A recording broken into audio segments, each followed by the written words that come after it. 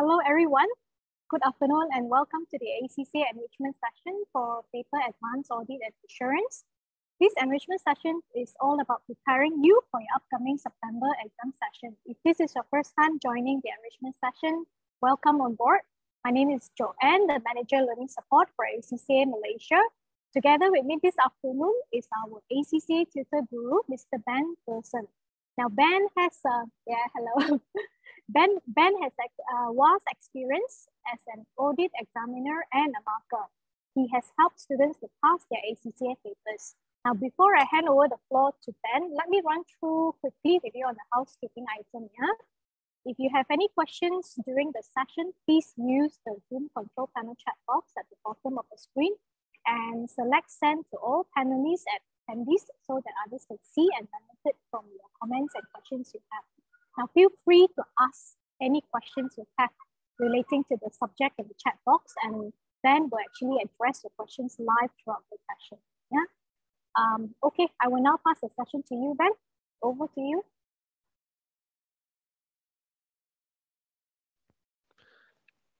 Thanks, John. Uh, so you'll see the screen change shortly. I'm just going to get my screen share.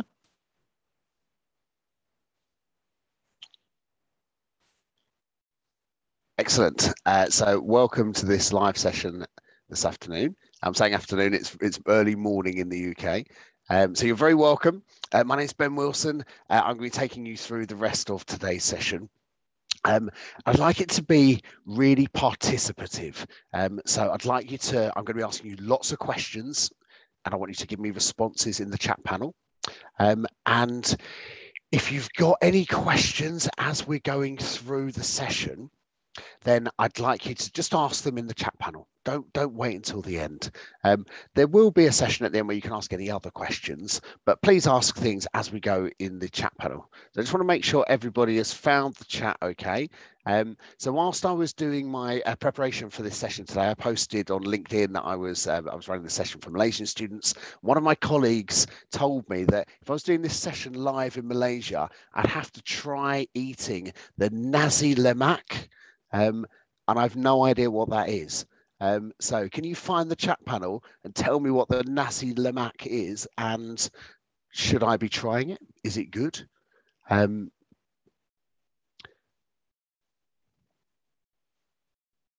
absolutely, I should. Okay, thanks, Kotong. What is it? What? Why should I be trying it? And am, am I saying it right? Coconut rice, spicy and savory. Okay, I should be trying it. Um, it's the national dish. I mean, how did I not know that? I've actually been to Malaysia. Um, so I I went on holiday to Kuala Lumpur and I've been to Penang and I I've never tried it. Okay. Um, so I should be trying this. Okay. So hopefully, fingers crossed, Joanne's going to invite me to come out to Malaysia next year and I will be trying the nasi lemak for myself. Okay. Thank you for the responses. I can see you found where the chat panel is. Uh, let's get going with the with the session. So, a bit of introduction to me first of all. Um, so I started my career working as an auditor at KPMG. So I've got five or so years of practical audit experience. Um, my audit clients, uh, ones that you might have heard of, the BBC, um, it was one of my big audit clients. Um, so Broadcasting Corporation in the UK. Um, and I also used to work on the audit of EMI Music, um, which has lots of big name record artists. So I spent five years working as an auditor, so I've got practical experience of what this is like. Um, I then after training at KPMG, um, I then left and started uh, lecturing. I've been lecturing for about the last 15 years or so. Um, and I now work as an examiner with the ICAEW, um, so another accountancy institute for the audit exam. So I've got lots of experience of writing exam papers um, and grading exam papers. Um, I've also worked in the past with the ACCA as an exam marker, um, so I've got lots of experience from that, that side, which I will be bringing to today's session. Um, I also work as a freelance lecturer um, with FME. Um, so it's an online provider uh, where we, we provide a kind of bespoke, personalized uh, one-to-one service to prepare students for the ACC exams. So I've got a lot of experience of, of delivering uh, AAA as a course. Um, I work with the ACCA now as their expert tutor uh, for auditing papers. So anything that you see on the ACCA's website um, or live sessions that the ACCA do for the AAA paper um, will be something that, that I've put together. I also do a podcast, um, so you may already subscribe. And I've looked down the list of um, of names um, of, of, the attendees today, and I've already can see that quite a few people already subscribed to my podcast. Um, the reason this is useful, and it is designed to help you to prepare for the AAA exam. Um, the reason it's useful for you is that um, I take a current issue each in each edition and then explain it from a AAA perspective. Um, and it's really useful for the case study question that you have to do in the, the, the long question in the exam, because um, it's helping you to build wider analysis skills. Um, and it's also useful for current issues because you know there's generally five marks or so in the AAA paper around current issues. So if you don't subscribe already, I'd recommend that you you link up to my podcast. And I'm going to put some links in the chat panel at the end for useful things for you. So I'll put I'll put the, the link for that in the end of the at the end of the session. So the agenda for today, things we're going to do. Um, we're going to briefly cover the exam requirements. I'm already, I'm assuming that you, um, uh, you've already been studying for AAA. You know what the exam looks like. So we'll do that fairly briefly. Um, we'll then be talking about effective time management in the AAA exam. Critical, absolutely critical one of the reasons that the pass rate for AAA is so low. It's generally about 32%. It's one of the lowest across the ACCA qualification. One of the reasons is that it is so time pressured, particularly in the long case study question. And so we'll be uh, uh, discussing different techniques you can use to help to keep yourself on track during the exam. We're going to talk about planning your answers. Now, if you haven't planned in the past, you are going to need to for the AAA exam. I find that if students don't get through AAA and they come to me as a resitter, very often the reason they didn't pass is because they didn't plan their answer. The reason you have to do it in AAA is that it's such a big, wordy paper that it's very easy to get lost. You need a structured approach to the exam, which is why planning your answer helps so much. So I'm going to show you how to plan. Uh, we're then going to talk about how you get the professional skills marks. So those four marks in question one, you've got to bag those marks. Um, they are the easiest four marks on the paper. So we're going to show you, I'll show you how to do those and we'll have a little exercise around that. We're then going to just go over a few key topics. Now, some of the, the, the, the main key topics of things like audit risk, I've actually covered in another ACCA session um, that um, ACCA Centrally have put on. Um, so I'm not going to cover the same stuff that I did in that session because I'm going to assume that you've been able to get access to that session and I will give you the link to that session as well, so you can you can watch the recording of it if you do want things like audit risk and ethics. So we're going to focus on something different in in that session, which is other questions, other things that come up in the the AAA exam. Um, and then there's a little bit of time at the end uh, for Q and A. Um, if you're thinking about breaks, um, the, we've got three hours together today. So I'm, I'm, planning to do a couple of short breaks as we go through. So after about an hour, we'll have a five minute break. After another hour or so, we'll have another five, five minute break. Okay, um, that's our agenda. So let's get stuck in. So the AAA exam, uh, what does the exam look like? So like all of the strategic professional exams, um, it starts with a case study. Um, and that 50 mark case study in section A, one big long scenario. Um, generally, you get audit risk coming up for about 25 marks. Um, so audit risk is where you know they give you a big scenario. You've got three or four exhibits, and there'll be a mixture of narrative information and numbers. Um, and your job in the audit risk question is to pick out the different risks from the scenario, match them up with the numbers to add depth and value. And sometimes you have to actually bring in two or three facts from different parts of the scenario to build an audit risk together. A reason the accounts might be materially misstated. So that's about 25 marks in question one. Um, generally, you get audit procedures in there as well. There'll be something that they're accounting for, um, that they're doing something wrong, and you're asked to audit it. Um, and it's quite practical. You've got to come up with bespoke tests of how they will, um, how, how they can test a particular item. This is not like the AA exam where you can just rote learn some tests for a certain item. And if receivables comes up, you just write what you have rote learned. Rote learning does not work for AAA. Your audit procedures will have to be bespoke. There will have to be something that is tailored to the particular item they're asking you about. Um, generally, you get ethics coming up in section A as well for about 10 marks.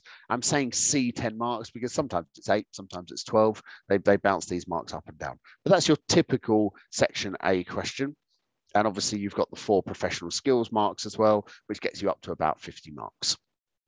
Um, the two 25 mark questions then, that's getting syllabus coverage. So generally, one of them is on reporting um, and it will be either here's an audit report that's been done badly. Can you criticize it and tell me how to improve it? That's the first type of question. Or it gives you little scenarios and says, look, management are doing something dodgy here. They're doing something wrong. Um, what will the impact on the audit report be? Um, so, you know, is it going to be a qualified except for opinion? Um, do we need a key audit matters paragraph? Do we need an emphasis of matter paragraph? All of these different things. So coming up with what the audit reports um, should, should be like.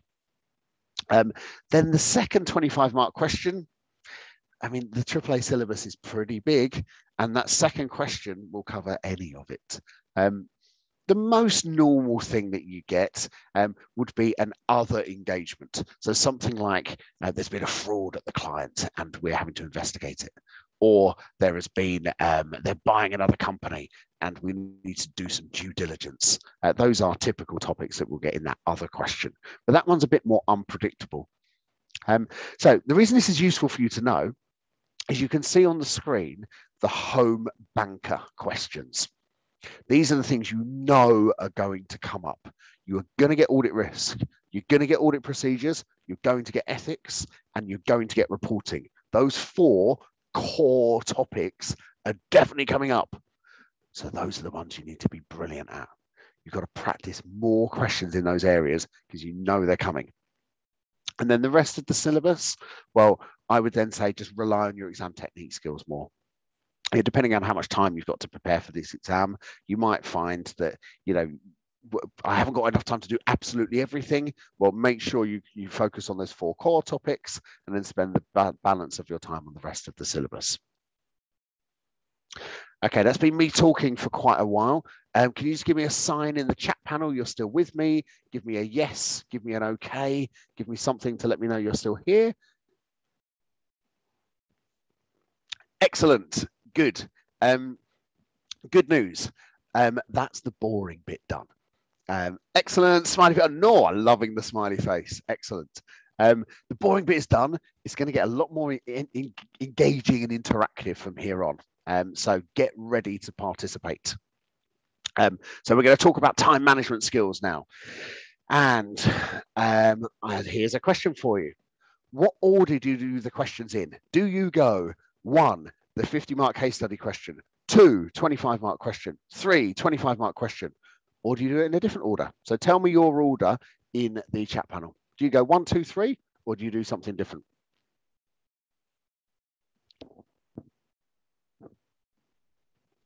Oh, okay. I'm getting a lot of one, two, threes. See why you're a two, three, one. And if you're a one, two, three, we got any more teeth, two, three ones or three, two ones? One euro, one, two, three. Okay, I'm getting the massive majority as one, two, three. Okay, um, and this showing on screen, this is a trap.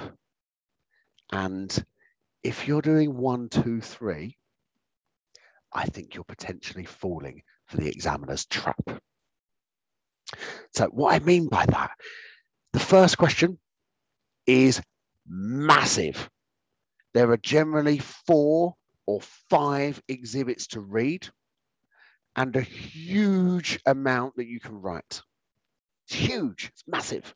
Um, and what happens to lots of students is that they go for that first question first and there's so much to read and there is so many audit risks to explain and there are three marks per audit risk if they're fully explained. So the students write loads they write loads they write loads and then they look at the time and they've used way more time than they wanted to on the first question. And then they get through to question two then they get to question three and they've run out of time and they don't get to the easier marks that are at the end of the exam paper. So I can tell you as an examiner, every examiner designs exam papers in the same way. You put more difficult things at the start, more time consuming things at the start, and at the end, you put some easier marks. And only the students with better exam technique get to the easier marks. Now, if you're someone who is going to score 80% and you don't struggle for time, none of this matters. You can do the exam in any order you like, it doesn't matter. If you are someone who sometimes runs out of time, who is on the margins, you know, you're scoring somewhere between 40 and 60, doing the questions in a different order can really help to boost your overall mark. So I'm not telling you you have to do it in a different order. I'm just saying have a think about it. Okay, um, so that's my first big tip. And actually, if you take only one thing out of this session, and that one thing is maybe I do the exam paper in a different order. I do the smaller questions first so that I can manage more time more effectively and then come to the big question at the end and use the balance of my time for the big question that would be how I would approach the exam. Okay, and if you remember only one thing out of this session, that's probably the best thing I'm going to say. Okay, general time management skills then across this paper. So um, you get three hours and 15 minutes, um, which translates to about 1.8 minutes per mark. Um, now, that leaves you a little bit extra. That gets you to three hours. Um, and then you've got an extra five, 15 minutes. So I would suggest that you're using 10 minutes of that for reading. Um, and that reading time I would use entirely in question one of the exam paper. Um, and that leaves me with five minutes of buffer time. Um, and that buffer time is to cover me for just in case something goes wrong. Um, and it will, you know, there will be something that happens in that exam that throws you off and you end up spending a little bit of extra time. So I leave that five minutes as buffer. And if I do get there with five minutes to spare, I can go back to the big audit risk question and maybe add another risk in. Okay, so showing you how I would do this um, for an exam paper. So this is the exam paper, the, exam questions from um, September, December 19. Um, you might have already had a look at these um, on the on, on TestReach. Um, so I get to the requirements like this and I, I, assign myself how many marks I'm having for each question. So it's 1.8 minutes per mark. So I'm not doing it all with my calculator. I'm just doing a kind of broad uh, uh, assessment of how long I need to spend on each one. So I've got 45 minutes in total for a 25 mark question. Um, so it's broken down like this, and I, I am labeling up um, as I'm doing the question, I, and I'm probably doing this in my answer plan, I'm labeling how long I need to spend or how long I have on each question. So I'm managing my time in question three in two ways. Firstly, I'm looking at the 45 minutes overall for the question. So I've got that in the back of my mind. And then I'm using I'm looking at each individual question going right. So after 14 minutes, I need to be done with the first question. After the next 11 minutes, I need to be done with the second question. And if I overrun slightly on the first question, so I go for more than 14 minutes, I'm thinking about my 45 minutes overall and trying to squash down the other requirements a little bit. Um, if I find that I am struggling for time here and I'm getting towards my 45 minutes, I'm remembering the advice that very often the last question is the easiest. Um, so if I am running short of time, I'm having a look at that last question and thinking about maybe I do that one earlier.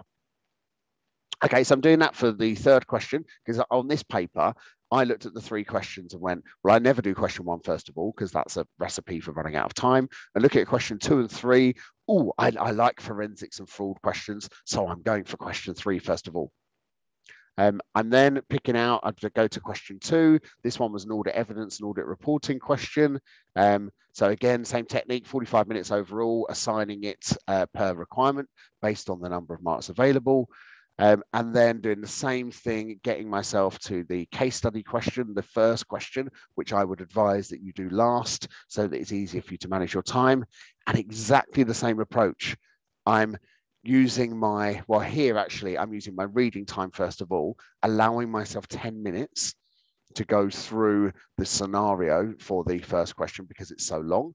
Um, and actually, just a thing about that reading time, I'm never just reading, never. When I'm reading the scenario, I'm typing notes. So I'm active. So I'm making little notes on the things that I read as I am reading through the exhibits. And then allowing myself, um, I've got 100 minutes overall um, for, for this question.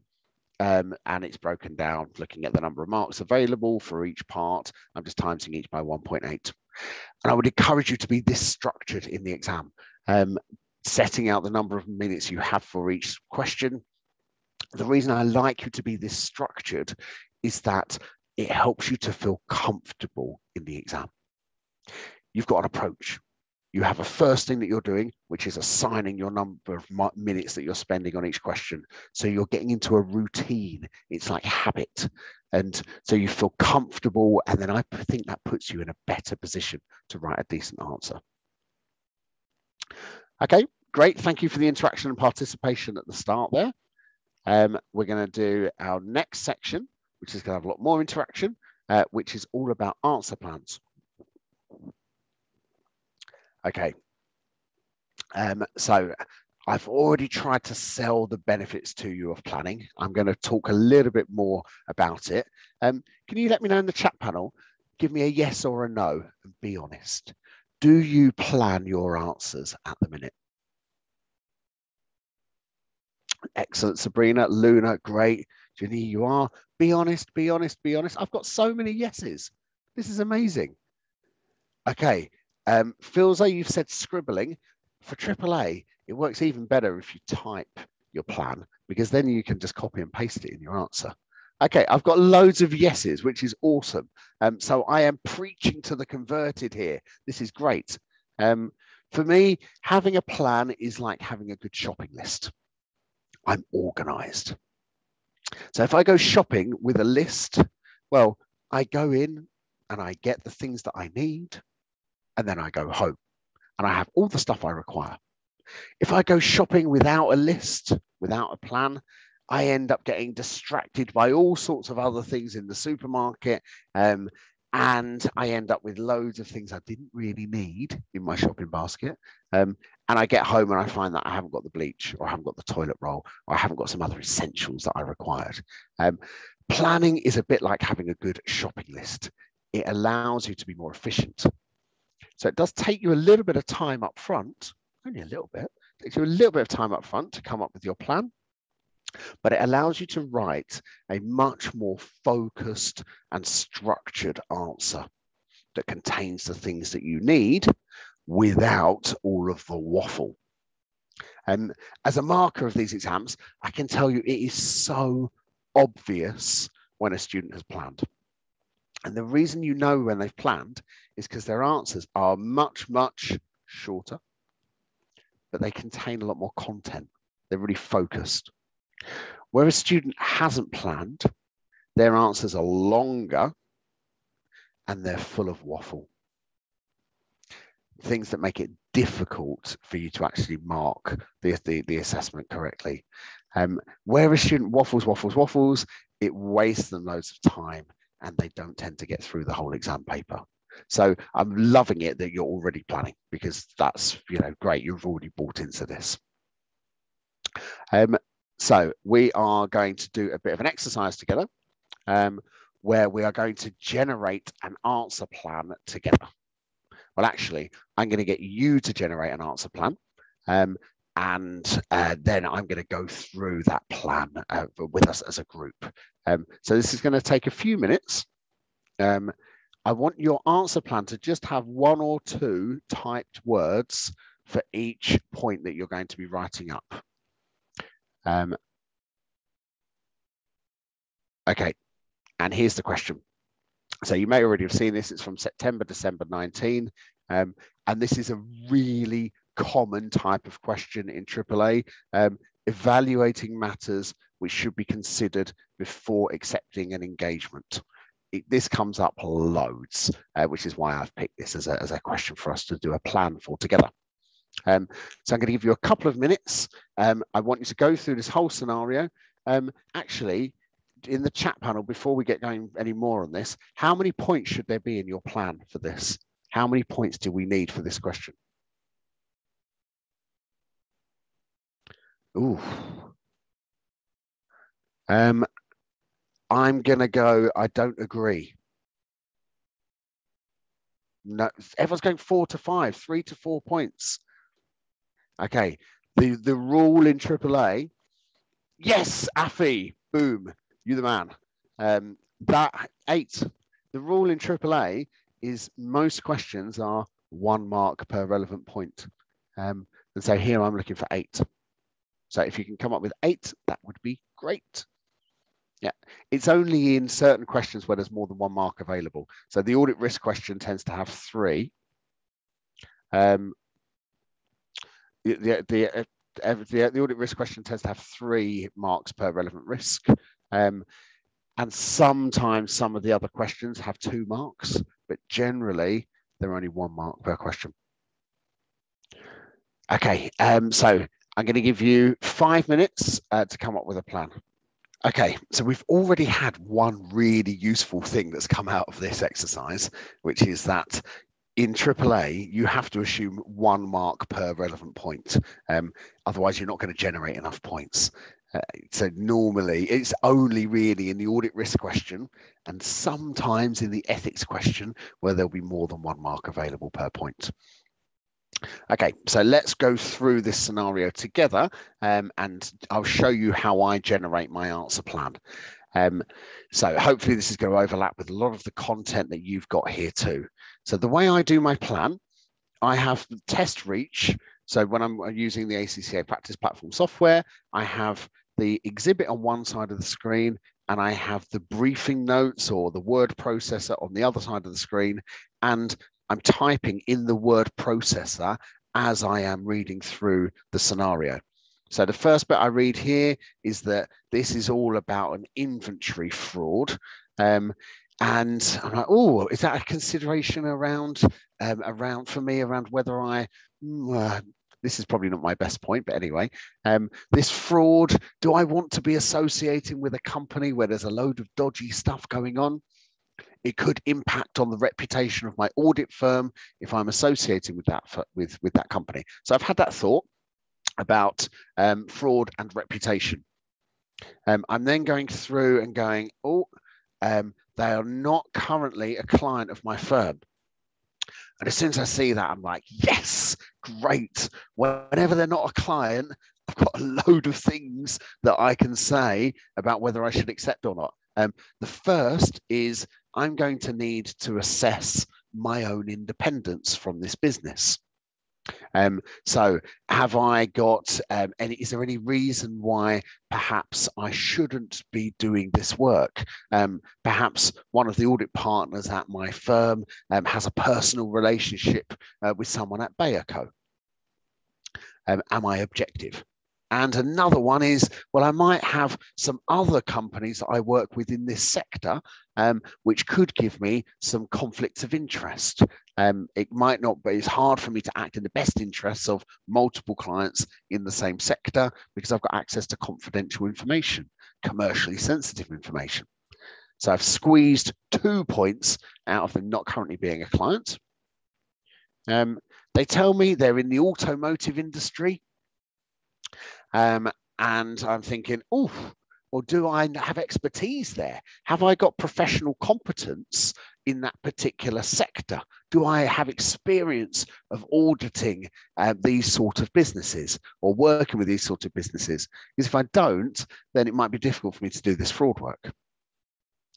Um, next, I'm going through and finding, oh, down here, um, they want me to do an investigation to quantify this loss and recommend improvements to the company's internal controls. So I'm thinking there, well, the investigation is going to take staff, people. Have I got the people available to do this work right now? Um, because there's this fraud has happened, they want to design uh, improvements in controls. It's likely they want the work done quite quickly. So I might not have the staff available to do it who have the right experience. Um, down here, this is going to form the basis of an insurance claim. Um, so there's going to be a, I know that this is going to be used for an insurance claim. I therefore, as the, as the assurance provider, owe a duty of care to the insurance company, which increases the risk of the engagement. Um, and there's potentially going to be extra work for me to do uh, to report to the insurance firm. Um, and then uh, they were told, oh, this has been um, reported to the police who will be investigating the matter further. Um, so if I know the police are investigating it as well, and they've got me as a, as a kind of technical expert going in, um, the police, well, they might ask me some questions as well. There's going to be a bit of my own time that's going to be spent dealing with the police, responding to them, um, potentially confidentiality issues around disclosing things with this investigation too. Um, then I'm thinking, um, have I got enough in my answer? Yeah, I probably do. But if I'm thinking I want eight points, I don't like to just have eight points. I like to think of a couple more, and then I can write up my best points rather than just the, the ones that I have to write up because I've only got eight. Um, so a nice extra one here, which will always be relevant in an acceptance engagement is how much are they paying me? Is the order is the fee for this piece of work, is it enough to justify the amount of work I need to do and to justify the risk of the engagement? So this kind of commerciality point. So if you look here, I've got one, two, three, four, five, six, seven, eight, nine. I've got 10 points here for an eight mark answer now when it comes to writing up this answer, I don't have to write all of these. I can pick my best eight. And if I've got spare time, I can write up all 10. But I can pick the ones that I think are most likely to score marks. Okay, um, so I'm just going to pause here. I've, sorry, I've realized that my screen sharing was paused all the way through that. oh, technical issues. I really shouldn't have paused my screen to start with. Um, apologies. So you would have seen that all appearing um, as I as I was talking uh, had I unpaused my screen. So apologies for that. Um, so you can see my answer plan showing on screen here. I'm just going to pause for a minute so you can have a skim down it. Um,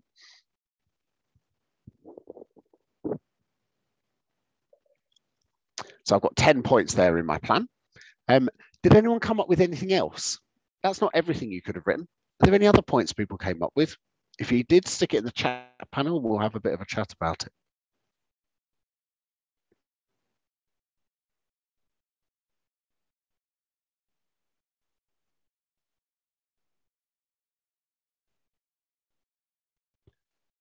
Just give people a second or so to type and also just a minute to kind of read down my answer. So I realized I was not showing it as I went.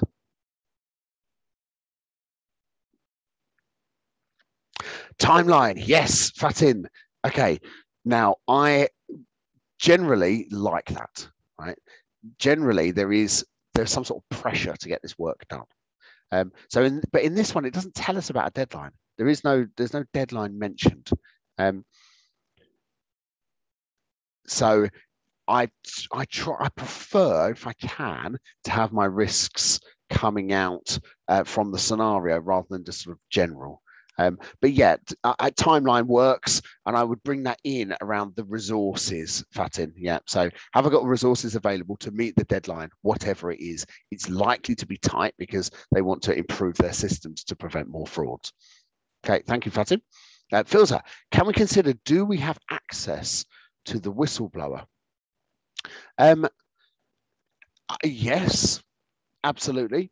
Um, I would I would argue though, um, Filza, that it would be really, really strange if the company brought us in to investigate a fraud and then didn't allow us to investigate it properly. Because at, at, talking to the people who uncovered the fraud is a critical part of doing the fraud investigation. Um, so that would be a limitation on sc the scope of the work if they didn't have it filled up. But yes, I think it's a relevant point. I wouldn't have that as my first best point, but it's it's, it's reasonable. Um, Jason, man, about the fee charges. Yes, I definitely I've got that one as well. That's my last one. The fees. How much am I getting? Is it commercially worthwhile for me? Uh, balancing up the amount I'm going to get paid with the amount of work I'm going to need to do, the resources, and the amount of risk um, of the engagement, because I owe a duty of care to the insurance company. Okay, Jason, awesome. Um, okay, uh, can you? So I, I think that's. I, I'm, I'm thinking there's not going to be any more. Oh, okay, Misa, we've got another one. Um, or whether the audit committee has properly reported to the respective party and on the whistleblower's protection.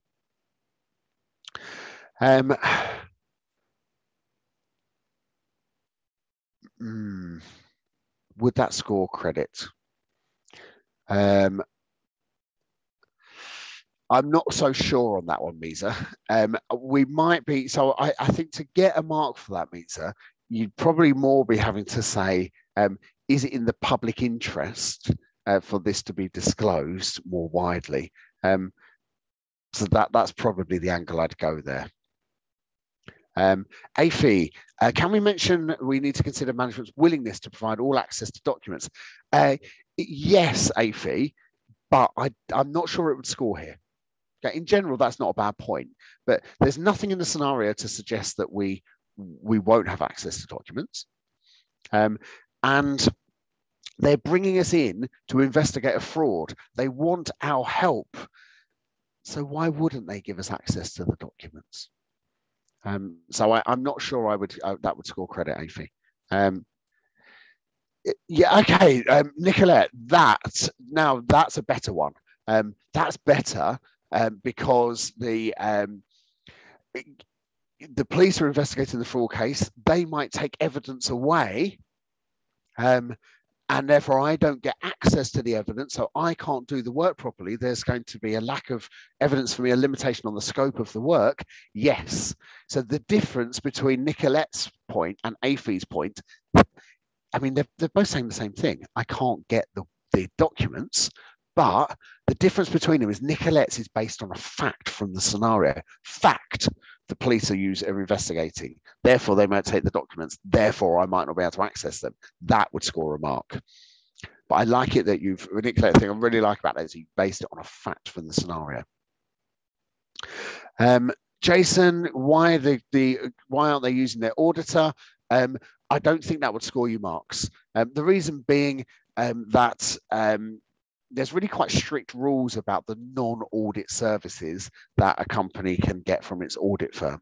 Um, and um, in the interest of, of getting a kind of robust, high quality audit, actually, you don't necessarily want your auditor to be doing lots of other work for you. So, Jason, I don't think that would score.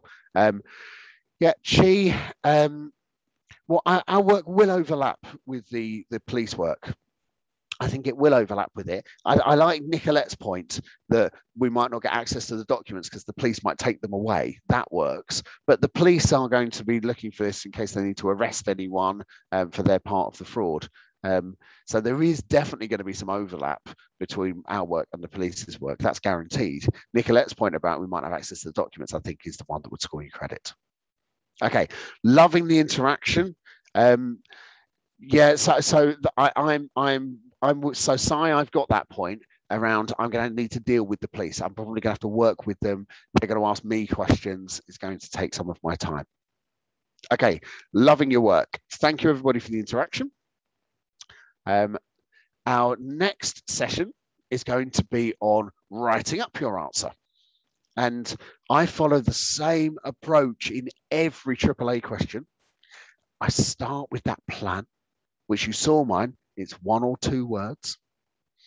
And then, having done my plan, I expand out each of those points into a succinct sentence, a brief sentence. I don't write long, long, waffly sentences. They're very sharp and to the point. Um, and the reason that my sentences are trying to be short and sharp is that I'm thinking about the most important person in my life when I'm sitting an exam. And that person who is so important is the person who is deciding whether or not I'm going to pass. That person is the marker. And I can tell you, so my so, so I want you to humanize the marker. I want you to see the marker as a real person. It is a genuine person who's going to be grading your script. And that person is potentially going to be doing, yeah, the, the ACCA markers will mark something like 400, 500 exams each. Um, and you know your exam might be the 30th exam they've marked that day. They're potentially bored. Um, and you know they've you and they'll have had to read through some really long answers that are really hard for them to grade because they've got to take in so much information when they get to a script that is short and sharp the marker loves it and if you're putting a smile on the face of the marker and they're deciding you know was your point worth for your audit risk one was it well explained and therefore earning three marks or was it all right and therefore earning one, one and a half, two? There's a bit of judgment for the marker. If they're smiling, they're happy, they like you because you've made their life easy, they're more likely to give you the benefit of the doubt. So I want you to be thinking about the marker and their needs and trying to make their job easy. So things we can do to make the marker's life easy. So we're starting each sentence with something active some, a word that means something. I'm never writing there has been a or due to the or in addition to. All of these bits don't mean anything and they, they make it harder to mark. I'm starting with investigate, confidentiality. I'm starting with words that mean something rather than filler. Each of my points I'm explaining briefly. So one or two sentences for each of my points. And I'm trying to keep my sentences reasonably short as well. Um, I, my sentences are maybe 10 to 15 words each. And as you are writing your answer, it's a really good idea to keep referring back to the requirement, just glancing at it yourself to make sure the way you're writing your answer is tailored to the specific requirement. Okay, so bearing that sort of bit of feedback or that, that bit of guidance in mind in the way that you're writing, um, I want you to take this answer plan um, and I want you to write it up. So you're going to recognize this answer plan. Um, here it is. So I'm going to, I want you to spend, it's going to take you maybe a good five minutes to do this, to write this up using the guidance that I just gave you. Okay, Juan, you negotiated effectively for an extra two minutes, um, but that two minutes uh, is, is up. Uh, so I'm going to share with you my answer. Um, and this answer is written to score one mark per relevant point. If I thought it was two marks per point, I would elaborate more. Um, but I know from my experience, it tends to be one, one mark per relevant point. Um, so I looked down this and said it's an eight mark question, so I need eight points. Um, and my first point, uh, the fraud and impact on my reputation, I actually now I've reflected, go, you know what? I don't think that's a great point. Um, so I'm not going to start off with a weak point. Um, I'm going to leave that one out. and if I had time at the end, I might add it at the end, but I'm not going to bother writing that one because I've got more than enough better points um, for me to um, for, for me to write up. The reason I don't like that one so much is because, well, if I work in forensics, my whole job is investigating frauds. So every client I go to is going to impact my reputation by association. So I'd never do any work. Um, so I, that's why I've, I've decided not to put that one.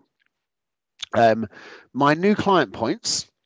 Um, so these are written so that it's for one mark per relevant point. So I might not be independent, they could be a related party.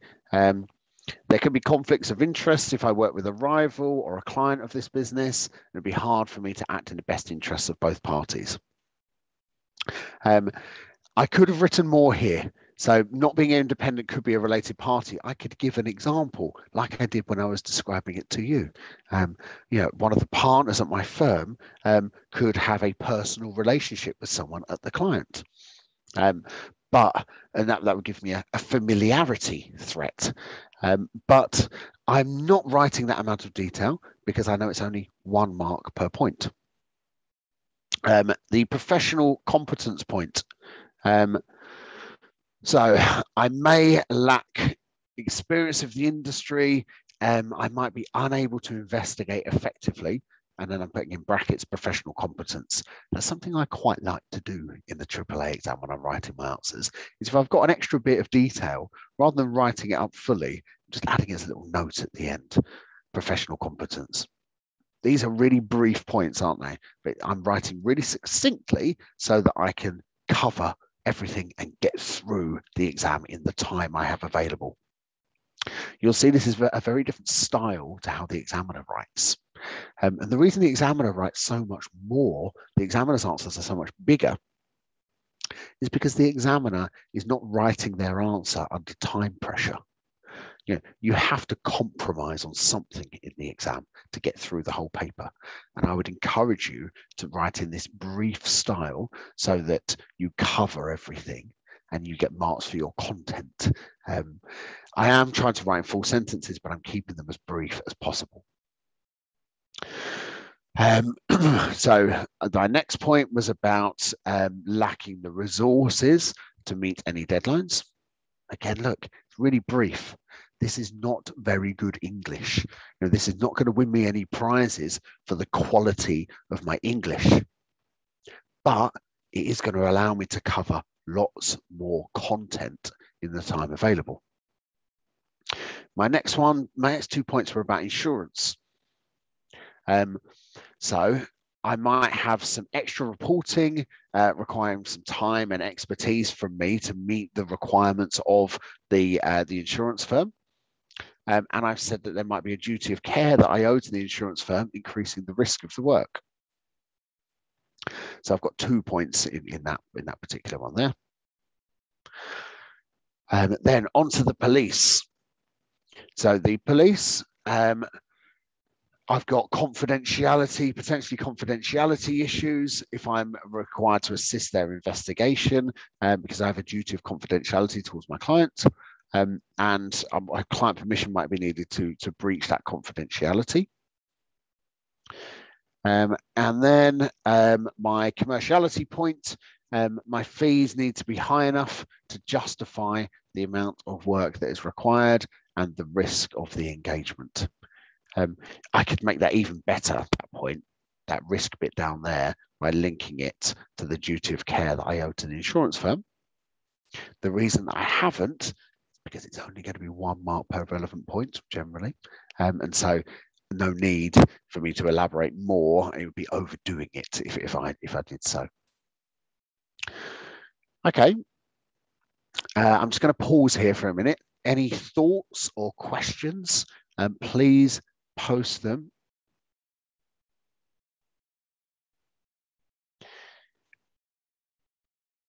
Okay, Osmond, um, what I'm showing you here is the minimum you can do. Don't do any lessons, right? This is the absolute most brief amount that you can write.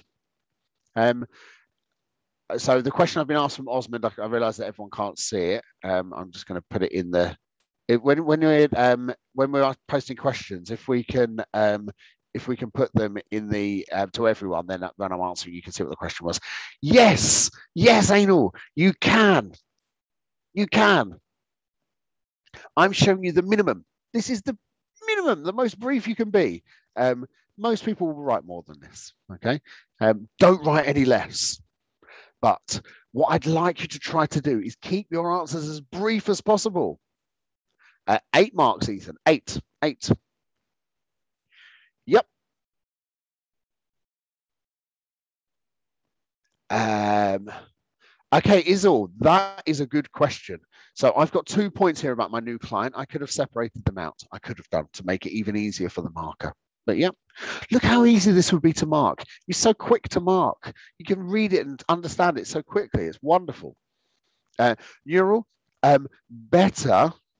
Yeah, I think, uh, yeah, because it's full of great content. Maybe it doesn't score eight. Maybe it scores six or seven. The marker might not agree with one or two of my points. I don't know it's it's subjective, right? I think if I'm marking this, I think it scores out of eight, eight out of eight because I've got a self-review threat. Um, I obviously think it's a great answer because I wrote it. Um, but what I'm trying to show you here is a practical, simple answer that certainly is going to score a strong pass, seven marks, maybe, perhaps up to eight. So each one of these is, is one mark per relevant point, and I've got seven or eight relevant points here. So to reiterate, I'm showing you the minimum you can do here. Um, if you do slightly more, that's fine. What I don't want you to do is be writing big block paragraphs to explain each of your points. Because if you do that, you run out of time. The other danger of doing that is that if you're if that point doesn't score, you've wasted lots of time writing it you're better to go for short, sharp points.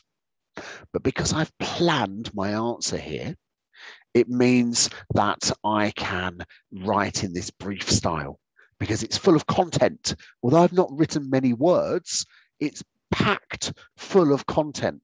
Look here. So this investigation work, which comes from the scenario, I may lack the resources, e.g. staff, to meet any deadlines. That There's no wasted words there. It's all muscle. It's all good content rather than waffly long sentences. Fatin, okay, Filza, that's exactly what I was hoping would happen, that you would go, oh, that means I can be more brief in my answer. Wonderful, wonderful. Um, I have to caveat this. If you're going to be the prize winner, so if you're going to score 85 or, or more, um, and win a prize in AAA, you're probably not going to do it using this style. But if your aim is to pass, your aim is to score 60%, 70%, um, then this style is brilliant because it gets over the most common problem in AAA, which is running out of time. Okay, so if we're targeting to pass, this, this is how you do it. This is how you write in this style, it allows you to cover much more content um, and allows you to get through the entire exam paper. Okay, um, the other if, if, the other point to note to you, there is one mark in the first question, one mark for the clarity of your answer. Um, for one of those professional marks. You may lose that if you go too brief and too note for me. So you could be compromising one mark if you if you go for this in, in section A.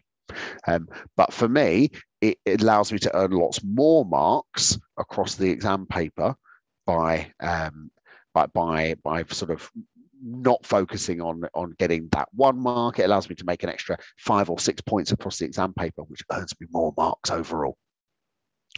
Yeah, absolutely, Nicole. You can be even more brief. You can be even more brief when you're typing. Okay, excellent. Um, so I'm going to leave this answer on screen um, just so you can have a read of it if you want to. Uh, we're going to have a short break here, uh, just five minutes. Um, so it's 1.42 your time, so we'll come back at 13.47. Hi everyone, uh, welcome back uh, after that short break. Uh, with online learning, I think it's really important that you have little breaks Um, and actually, that works for any type of learning. Short, sharp sessions where, you know, doing an hour, having a little break, doing another hour, it works really well, particularly for a subject like AAA, where it's mentally challenging. You know, you, you're it's not like a calculation paper where you're just plowing through the numbers and or rote learning. Um, it's a very practical skills-based paper, so it lends itself really well to short bursts of study. Um, so we're making good progress. Um, our next section uh, is on professional marks. How do we get those four professional marks? Uh, so actually just give me a yes in the chat panel if you're back and you're with me. You can see and hear me okay. Everything's all right. Excellent. Lots of yeses. Yes. Super. Thank you. Cool. I know I'm not talking to myself like a, a, a, a um, yeah, someone who's crazy. Cool. So professional marks. So these are, uh, there are four marks available in question one. Um, and I said at the start, these are the easiest four marks to earn. I always aim to earn three of them. And I'm prepared to lose one of them for the kind of clarity of my answer by being brief because it allows me to cover more content. So I have to, the first professional mark is for getting the right, um, the right format. Uh, so it generally is briefing notes. So I will have a title that says briefing notes. Um, or if it asks me for a report, sometimes it does, I would write report. Um, and I need to write to, so who it's to, and that will be just copied and pasted out of the out of the question. It will be to the audit partner, you know, whatever their name is, who it's from, and that's you know, me, audit manager. Um, and the date, so you can just write today or whatever date it is that's in the scenario in the question. So we get that's our first mark. Uh, the second mark is for the introduction. So you have to have a short introductory paragraph. Um, you have to have subheadings. So for the audit risk question, I'd be expecting you to have a subheading for each risk. So it might be inventory valuation. It might be capitalization of research costs. Um, whatever the audit risk is, a little subtitle, and then um, your points below on that particular point. So I'm expecting you to have in the audit risk question something like six or seven subtitles. Um, and then the last one is for clarity and style. Um, and this is the one that I'm prepared to lose by being too brief because I'm going to earn more marks overall by covering more content. Okay, so the one that is dangerous, and I think students spend too long on, is the introduction one. Uh, so here is the examiner's model answer um, for a past exam paper. So this is the published model answer, um, and this is the introduction. Um, so I want to have a read of it, and I'd like you to rewrite it in as few words as possible. And when you're done, I'd like you to tell me how many words you've rewritten it into. This will take you a couple of minutes to do. Bristol is also on 31 words.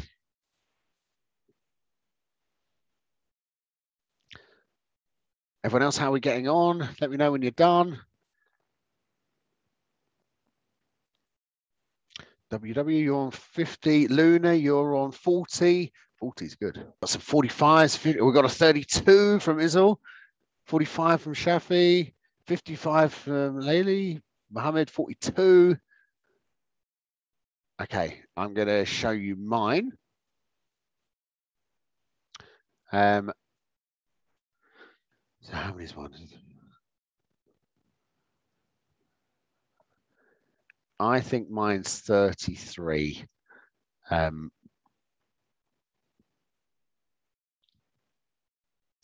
Okay, the examiners is 105, something like that. Um, I got a bit bored counting, but I counted the top row and then times it by five and added a little bit um, because there's five rows.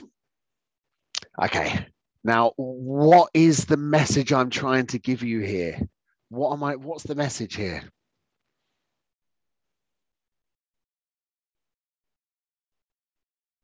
There's a big learning point here. Yes, one. Perfect. It's about the time. This is such a time pressured exam.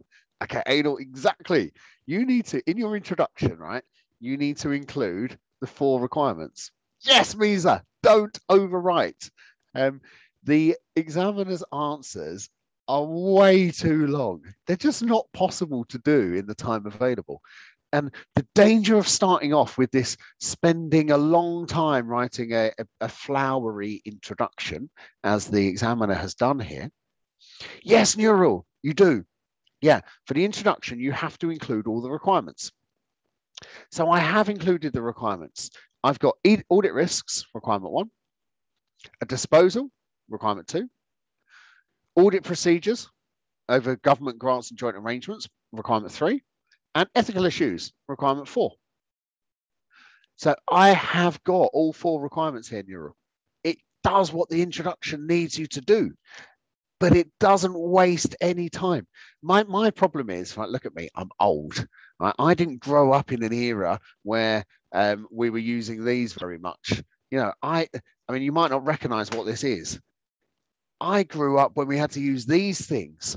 Um, and so I'm pretty quick at doing this, um, but I am not very fast at this.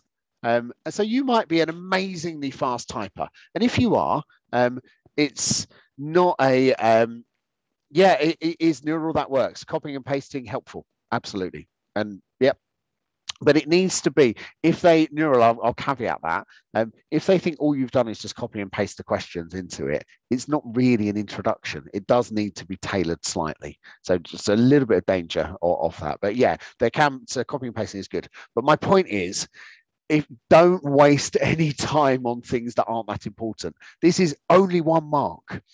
And the examiner has spent 105 words earning one mark. Um, if you multiply that up across the entire exam paper, you need to be writing, what is that? 10,000 words. Um, if you write an examiner's style, if you're this inefficient at earning marks, you can't afford for it to be like that. So you've got to keep this brief. Um, uh, yes, uh, uh Fatin, I would write introduction. So it's really obvious to the marker what it is that you're doing. Okay, any other questions before we move on or give me an okay and all good?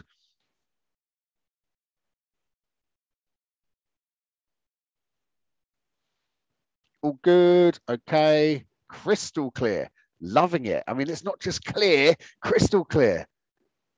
Okay, excellent Laylee, uh, that's what I was hoping for by making these these kind of interactive exercises. It kind of leads you to your own conclusion. Uh, and oh, ah, Afika, I was hoping somebody would ask that.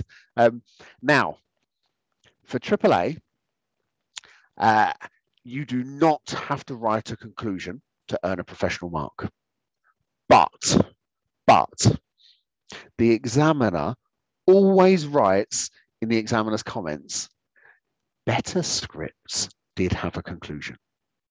Stronger students put a conclusion. And the, the, conclusion is just a short summary statement at the end of your report. Um, so if you have time, Afika, then I would write one. Because it makes you look like a better student.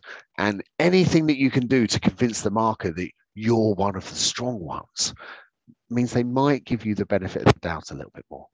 Um, what I wouldn't do is cut down my content and oh, I've got an extra audit risk to write up, but I haven't got time to write it because I've got to write a conclusion. Do not do that um, because the conclusion is not really worth it. But if you get to the end and you're like, you know what, I've got my five minutes of buffer time, I could sit here and move my arms around and try to distract the other students a little bit um, or get up and go to the toilet just to be really annoying to everybody else. Um, you know, if you're sitting there twiddling your thumbs at the end, then write a conclusion. But otherwise, I wouldn't bother. Okay, any other questions before we move on or we've had plenty of time there. I think we're we're probably good to go. Okay, Right. So this next, the, the rest of the the session, so the rest of this this section and the the, the last section we've got, uh, we're going to go through a couple of key topics. Um, so to be um, brilliant, um, it, so actually I'm going to just pause the screen a second because I want to get a couple of links to put in the chat panel. Um, okay, I've put a couple of links in the chat panel because um, I've already run, so I've got, I've, I ran a, a, a, general ACCA session. So this was run by ACCA Centrally. It went out to all AAA students um, where I covered things like audit risk, um, audit procedures, um, and audit reporting. Um, and I've put the links to two um, sessions in the chat panel there. One of them has already taken place, um, where we did a brief introduction to each of these three topic areas. Um, so that's the um, that that that one already happened a couple of weeks ago, and there's a second session planned uh, for later in August, um, where I'm going to be going through an audit risk question, a full question one, basically. Um, so if you haven't actually, can you let me know in the chat panel? Did you go? Did any of you come to my session? The the general ACCA one. Give me a yes in the chat panel if you came to it. Yeah, it means you did. Okay, so you're already familiar with my start. So this has been, um, yeah, the, the, the, these have already been promoted. But if you didn't come to them or you weren't aware of them, um, then the links to the two sessions are there. One of them is still yet to happen. Um, so it's it, hopefully you'll be able to attend it live. Um, so because I did these topic areas in those sessions and you can all access those sessions, um, I'm not doing them here even though they are the most common things that come up in the exam paper.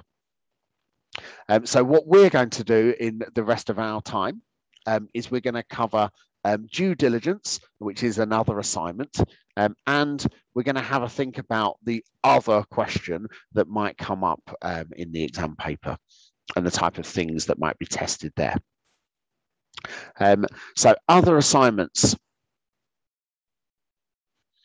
Um, really common question.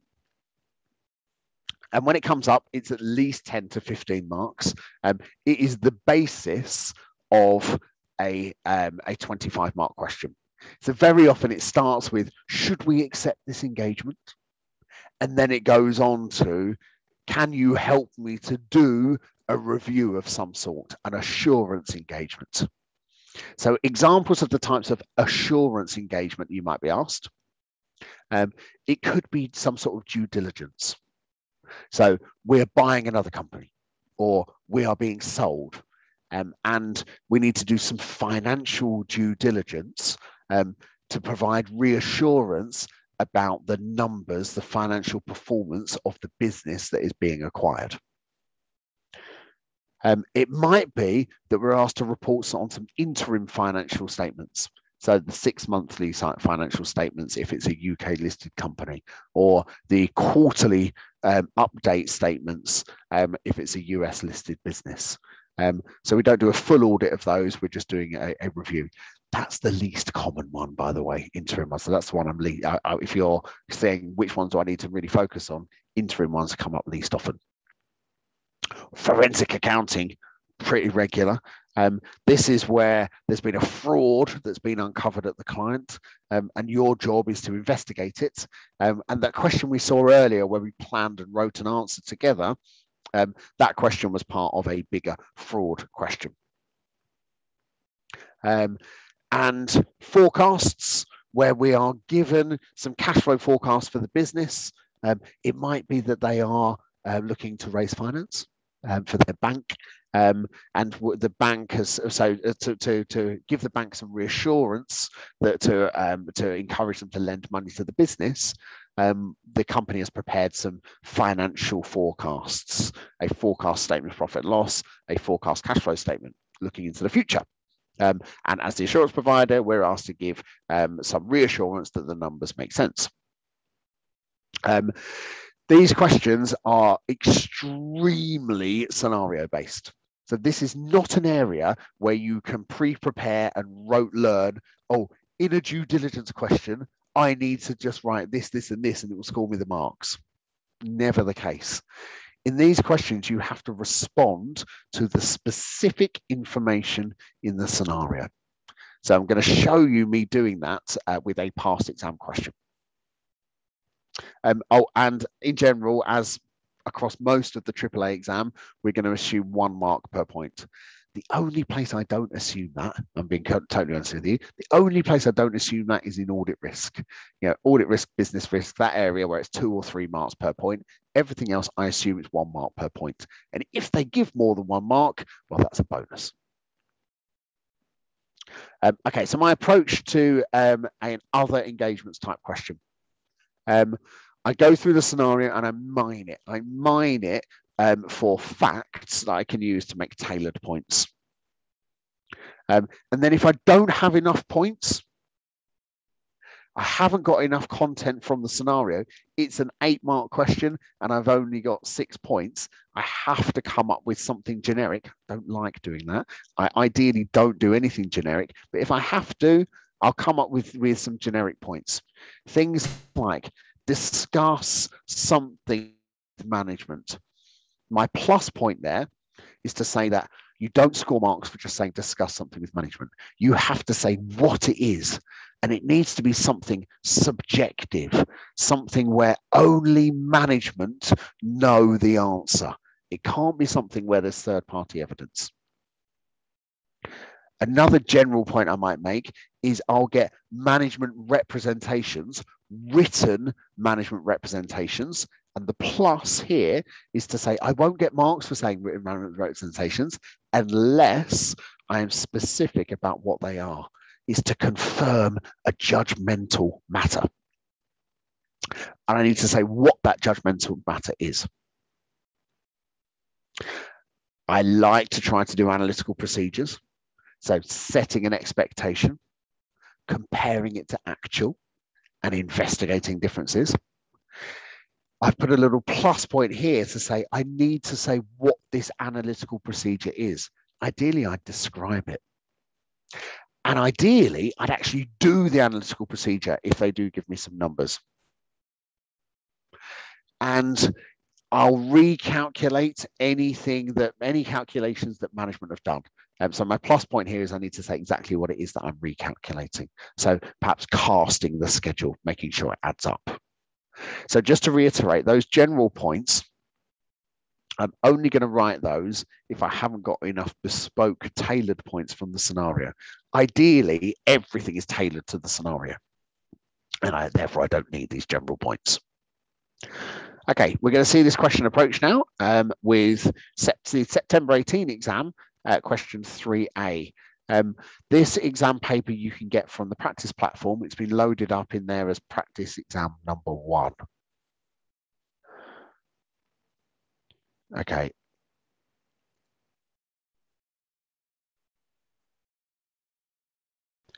Here we are in TestReach, the practice platform software.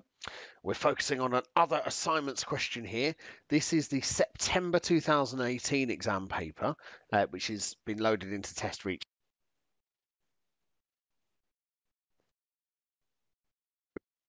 as practice exam one and we're going to do question 3a so I've already navigated down here to question three and start as always by opening up the requirement and getting my word processor open too and organizing my screen so that I can see both of those but I'm not covering the navigator so I can go backwards and forwards and I can still see the exhibits down here so I can open and close them. First step, as always, is to copy and paste the questions into the word processor to form my plan, the structure for my answer. So the first requirement here is I've got to explain, and I've bolded explain because I'm saying to myself I need to fully develop my points, explain the matters that I'd consider before accepting. So this is really a sort of ethics type question, isn't it? Independence, that sort of thing. What should I take into account before I do it? So I'm going to do a bit of ethicsy stuff in there, and I'm also going to do some practical points as well that are coming out of the scenario, hopefully. And then the second question is I need to make um, some recommend some examination procedures to be performed in respect of the forecasts um, of profit and loss. And it's telling me I need to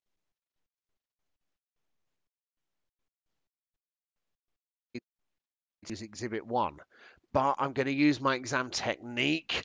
I know that sometimes there is some information contained within the original scenario that can be useful. So is there anything useful in here? And strangely, in this question, there's basically nothing. That is very unusual. But there is nothing in there, but I haven't left it to chance. I've made sure there's nothing in there before I open up the exhibit. Let's focus on the first requirement initially, explaining these matters around acceptance. So let's read through the first paragraph. Is there anything interesting in here? They've been an audit client for the last five years, so I'm already working with them, and they're planning a significant expansion into a new geographical area and jurisdiction. To finance the planned expansion, they need funds to purchase some stuff, and they're planning a new advertising campaign. I've been, well, is there anything interesting in here? Well, uh, the fact that they're raising finance, um, yeah, let's get that into our answer.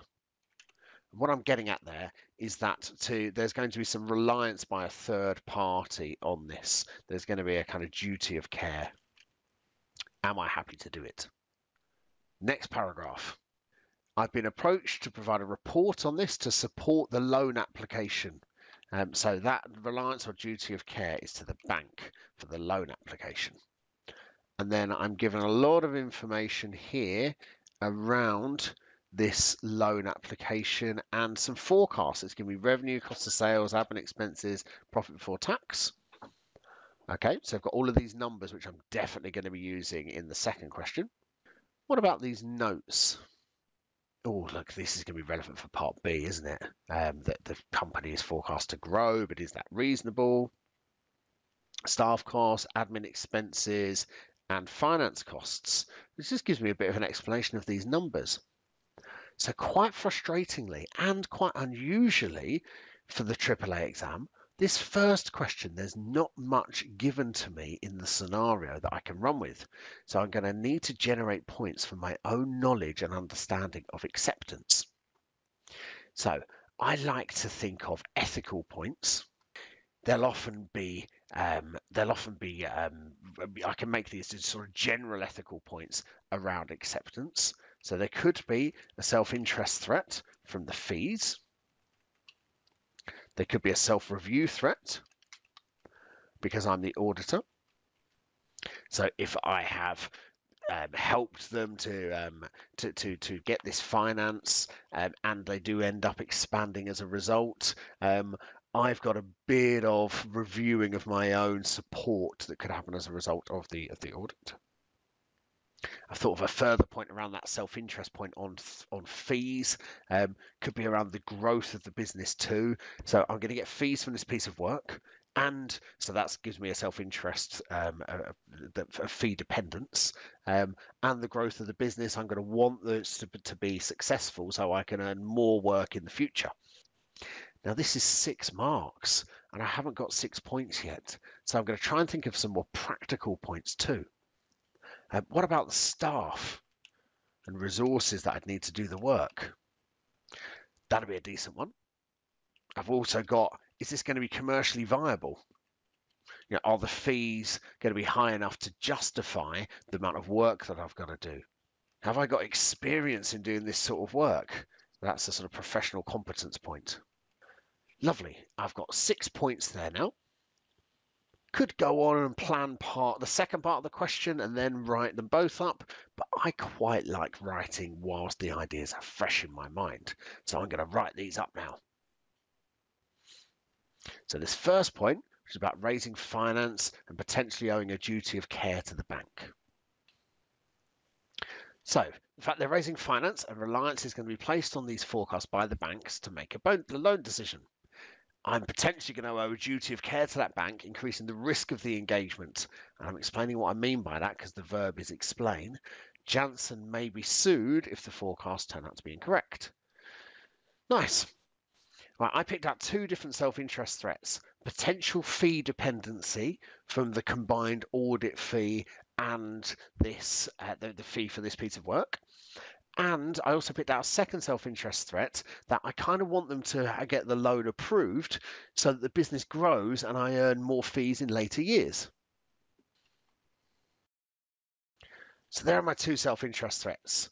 First one, that the combined fees from the audit work and the forecast could be significant, leading to fee dependency. Janssen may overlook issues to retain the lucrative fees. Nice. And then the second one, I've said again, it's a self-interest threat. The auditor would benefit from higher fees in later years if the loan is approved and the business expands. They may sign off on overly optimistic forecasts without robust challenge to help the loan application to succeed. Objectivity and independence may be compromised as a result. I like putting those words into any ethics answer. Objectivity and independence. I know that they quite often just pick up credit. And I'm writing this amount of detail because the verb is explain. Okay, self-review threat then. This is where the results of this expansion may well uh, be, be, reflected in the financial statements uh, in future years. So there's a self-review threat as the results of the forecast and the loan application will be reflected in the financial statements, which is subject to future audit. The auditor may overlook issues, not wanting to draw attention to errors in their original work, or they could lack professional skepticism, accepting their colleagues' work without challenge. Again, I'm writing this amount of detail because the verb is explain. Right, what about these other points then? Staffing and resources. Have I got enough people to do this work, especially considering that this is a significant expansion? So staffing and resources. It's a significant expansion with potential time pressure from the directors of the bank to get the work done. Does the audit firm have sufficient staff available to perform the work to meet the deadline? Next point is commercially viable. And that's basically, is the fee enough to justify the risk and the amount of work that needs to be done? So commercially viable, does the fee justify the work required and the risk of the engagement? I've gone a little bit shorter here. Frankly, there's not a lot more to say. That is an explanation. There's just not a lot more here. Is it high enough, that fee? And the last point was about experience, wasn't it? Have I got professional competence in doing this sort of work? So, experience. Does the auditor have professional competence in the review of financial forecasts? They could be new to this type of work and may not spot issues or problems with the forecast. Lovely. That's us done for part A, the first bit, and then we'll move on to part two. So this second question, where we're asked to recommend the examination procedures to be performed in respect of these forecast statements of profit or loss. So we've got to look at these forecasts and say what we would do to check whether these numbers look correct. And to make this a tailored answer, we need to use the scenario information. So in this first paragraph, there are certain things that are going to be really important for us to comment on that need to be reflected in the numbers. The fact that they're going to buy a load of new vehicles and warehouse facilities. And what would you expect to happen there? Well, if you've got a load more vehicles and warehousing, you'd expect a lot more depreciation. So we'd expect to see that in the numbers. We'll come back to that point. This comment here, the company is planning a major campaign, advertising campaign and marketing. You'd expect to see that reflecting in the numbers too, wouldn't you? Okay, into the. So we've not really used anything out of that first paragraph yet, but we will use it when we analyze the numbers. Next paragraph, we're told that there is a new long-term loan of 22 million from the current lender. So let, we're going to do some examination around that. What would you want to know about it? Well, you'd want to see things like what are the interest rates on it? because that's going to need to link in with the finance costs. It tells me in the scenario that the company has got a loan of 31 million from the bank, redeemable in five years' time. So I'd want to get the documentation for that and see if it is actually redeemable in five years. And I'd want to see if there are any covenants restricting any further finance being raised. Then going into the numbers themselves. Now, one of the general things we like to do when we're doing any kind of um, any kind of other assurance engagement is to do analytical procedures calculating percentage changes and seeing if if the the numbers kind of stack up. So i'm going to look at things like well what's their revenue growth rate? And i'm going to do numbers for that to calculate the growth in revenue. And then i'm going to think about what I'd do to support those numbers. So they're forecasting that revenue is going to grow by 26% in x6 and by 29% through to X7. I'm not showing the workings because these numbers will be marked as right or wrong, so there's no need to show the workings. So how would I say that those numbers look realistic? What would I want to agree that back to? Well, how would management have come up with these as an assumption? Are these assumptions reasonable? And I'd want to compare it to something. What would tell me whether it's a reasonable assumption? Oh, they might have done some market research. It's also worth looking at the note. Note one, which is around revenue down here, tells me that they're expecting they'll they'll see a growth in both existing and new markets over the next two years. I want to see how much of that revenue is coming from new markets and how much from existing to see if the assumptions look reasonable. What about the cost of sales? They're assuming that cost of sales are going to grow by a bit less than revenue. And look at the note for cost of sales. It includes staff costs, depreciation of all of my new equipment. And so I'd want to make sure that they're including enough for the new staff that are being recruited and the extra depreciation on the things that are being acquired. This note from up here. Excellent. I'm up to four points now out of the nine that I need. What else have I got? Oh, next line. Admin expenses here are forecast to fall. Does that sound realistic as the business grows? It tells me admin expenses are mainly the costs of running the central head office facility, but there must be other things included in there. Maybe this marketing campaign. Then let's look at the finance costs. So the finance costs are forecast to go up in year one and then down in year two. Now I can see why they go up in year one because we've got these extra interest costs on the new loan. Um, seems strange they drop in the year after that. Maybe I'm repaying some of the original loan. But what I'd want to do is make sure that the, the these these interest amounts tie back to the loan documentation. Lovely. So I've now got one, two, three, four, five, six points, and this is out of nine. So I'm going to need to try to come up with a few other general ones from my list.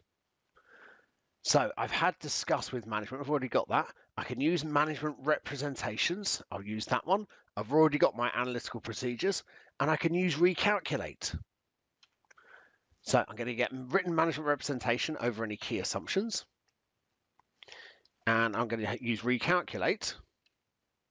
My recalculation is being making sure it all adds up. So I've got eight points there. This is a nine mark answer, so I prefer to have another one, but I've and something might come to me as I'm writing my answer, but what I'm not going to do is just make up something that is, you know, just to fill the space. I'm confident enough to go, well, I'll go with my eight and I might think of something as I'm typing. So let's write these up. My first point was about the $22 million new loan. I want to obtain the loan documentation and get the interest rates on there. So that 22 million new loan, I'm going to get the loan documentation and ensure that the interest costs are included in the forecast under the finance cost section. The $31 million loan, I want to get the documentation for that and make sure there's no covenants that restrict any extra finance being awarded. Although saying that it's with the same bank, so that's probably okay. But it's still something I'd want to do. So I'm going to get the loan documentation for the $31 million loan and review, review it for restrictive covenants. Are they able to raise new debt? Have any covenants over interest cover or anything else been met in the forecasts? Lovely. Next, I'm on to revenue, which they're saying is growing spectacularly. are these assumptions reasonable? What I'd want to do is get a breakdown of the new clients versus uh, new markets versus existing, and I'd want to obtain any market research that they've done to support the forecasts. So the revenue growth rate of 26% and then 29% is high. Is that assumed growth rate reasonable? To find out, I'd obtain a breakdown of the forecast by new slash existing markets, and I'd trace the growth rates in each market to external market research. Lovely. Now I've got my cost of sales line, which is forecast to grow, but not as much as revenue. So I'm going to make a basic point in here about fixed and variable costs. Presumably some of these costs are fixed because they're not going up by the same amount as revenue is. Um, and my key point is I was told that they're going to be buying new warehousing and taking on new staff. Have these costs been included? So my cost of sales is growth is below revenue. Obtain a breakdown of the cost of sales and ensure that depreciation of the new warehouse and other assets is included, and the staff costs are included as well to deliver on the new strategy. And actually, that's led me on to another thought. I thought I might think of something as I'm writing this answer.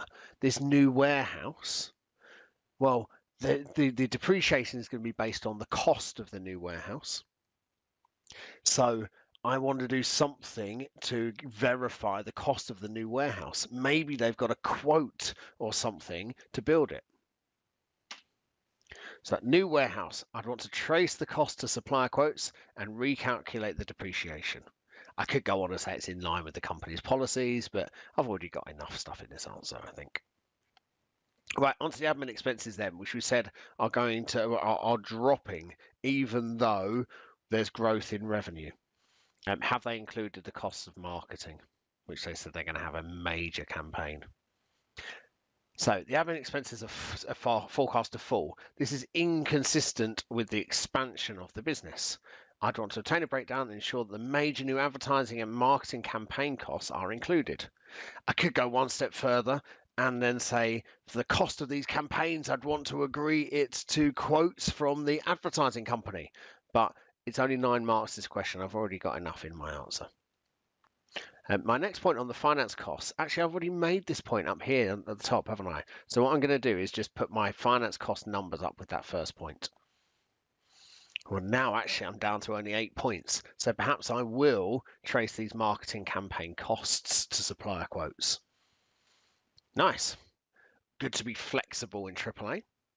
I like that point particularly and that point because they're so short. Lovely, easy, simple. Okay, this one I want to get management representations, in fact, written management representations over any key assumptions. And I'm being specific about what those assumptions are, for example, the revenue growth rate. And my recalculation, I'd want to make sure that this schedule adds up. Smashing. And I am done. One, two, three, four, five, six, seven seven, eight, nine points. Lovely.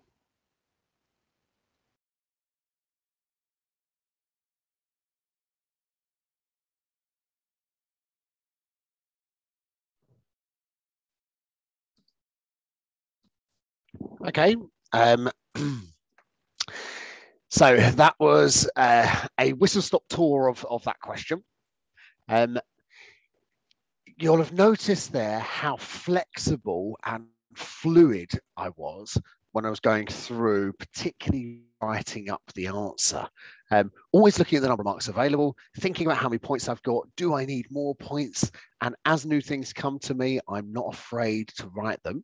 Um, but having gone through that two stage process, number one, planning the answer, number two, writing it up, it gives me more scope and space to think um, and to perhaps come up with new ideas.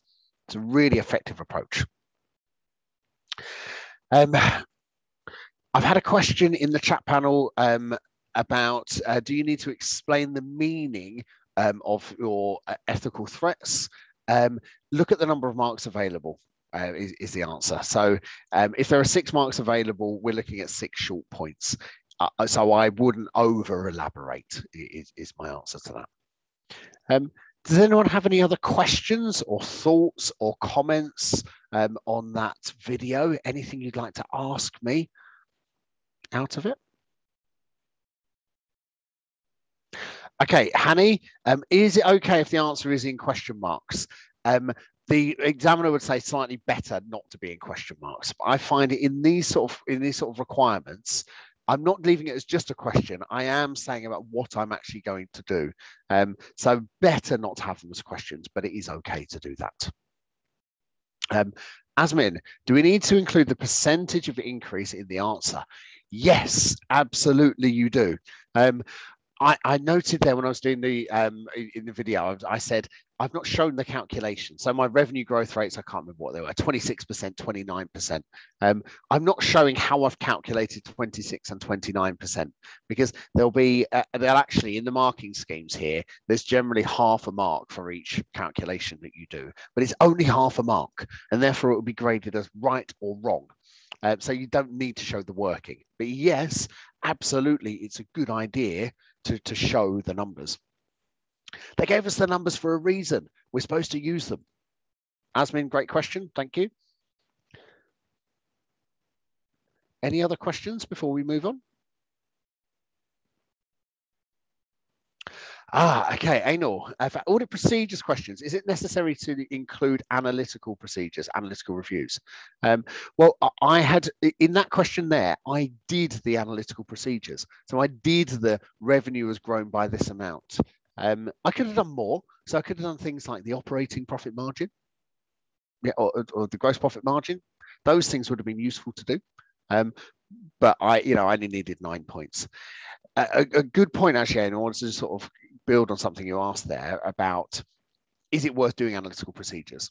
Uh, it is something that the so the new syllabus is out for for AAA. So in September 21, you're the first student sitting the new syllabus. The old syllabus and the new syllabus are like 99.9% the same. Um, but the one of the teeny tiny differences in the new syllabus is there is more of an emphasis on analytical procedures. So it's something that I would expect to see quite a lot of in your exam paper. Um, where they in, where something is new in the syllabus or beefed up, increased, um, they tend to test it. Uh, and so I would I would be very ready for analytical procedures to come up because it's something that's new in the syllabus. Okay, any other questions before we move on?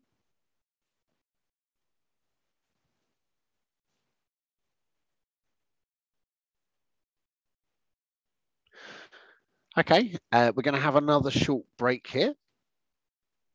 Um, so we'll have a short break. That's going to take us to, so five hours on, it's, uh, we're going to go until um, 2.39.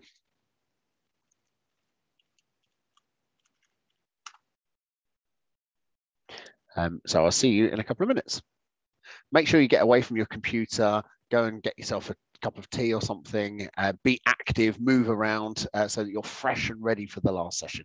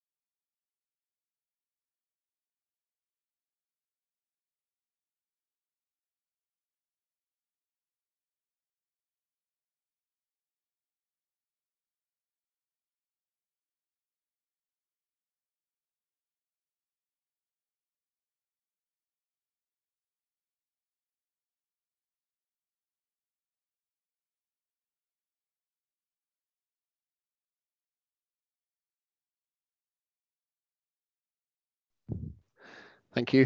Hi, everyone. Uh, welcome back after that short break. Uh, I've been asked whether the recording will be given to you. Um, I know the session is being recorded. I can't actually answer that question. I don't know if this is definitely being shared. Um, is uh, I, and I'm not. I think Joe has actually dropped off the call, um, so I can't tell you 100% whether it's going to be shared. I think it will be. Um, okay. Thank you. I imagine it will be. I can't see why they wouldn't, but you never know. Um, okay, so our last section, uh, we're going to be looking at, well, two things here. One is these other questions. Um, so the other thing that might come up in the exam paper, I said you've got your core topics of audit risk, audit procedures, ethics, and reporting. You've got our four core topics, and then something else might come up. Um, and so we're going to cover what that other thing might be. And then there's a little bit of time at the end for a Q&A, but people have been asking questions all the way through. So I'm, i imagine that Q&A will be quite limited. But if you do have any questions at the end, I'll, I'll happily take them. Um, okay, and so our planned time finish uh, is, uh, your time is uh, 3.30, isn't it? So we've got about 50 minutes left. Okay, uh, so other questions then, the other things, um, 10 to 15 marks generally. Um, and we don't know what it's going to be. This is the unpredictable bit. Um, and for me, I'm happy if I score half marks here. If you get half marks, wonderful, um, because you've scored so many marks in the more core topic areas because you're so good at ethics, you're so good at reporting because you've practiced so many questions in those areas that getting a few marks here is fine. That's going to be enough to get us up to a pass overall. Um, the reason there is this kind of other part of the exam um, is to allow the ACCA to get uh, syllabus coverage. So yes, they always examine the core topics, but it allows them to, to test the rest of the syllabus. And you just don't know what your, your exam paper is going to have on it, unfortunately. Okay, so the kind of things we tend to see in these, these other questions. Um, one is around acceptance, and actually we see that a lot. We've seen that in in some of the stuff we've actually done already today. Should we take on a, an engagement?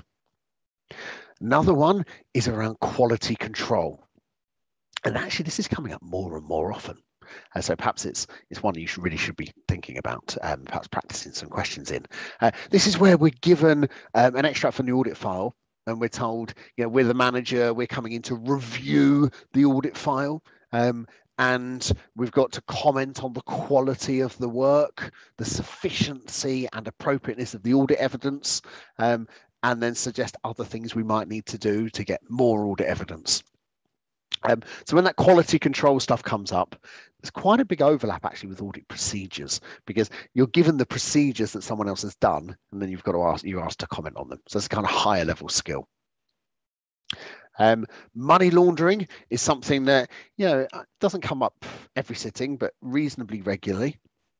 Um, so there'll be some indicators of money laundering in a scenario, you know, placement, layering, um, and then extraction of the of the money from the financial system. Um, so there'll be some indicators in the scenario that money laundering might be happening, and you're asked to comment on them.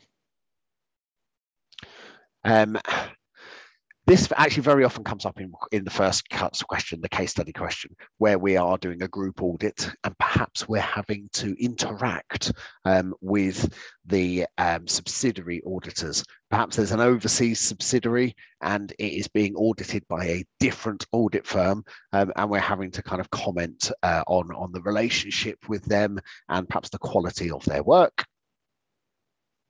Um, we might be given an audit strategy so an approach uh, to an audit, um, perhaps from a subsidiary auditor that has, has, sent this audit strategy document to us, and we might be asked to comment on the quality of, of that audit strategy. Do we think it's robust? Is there approach of controls and substantive testing?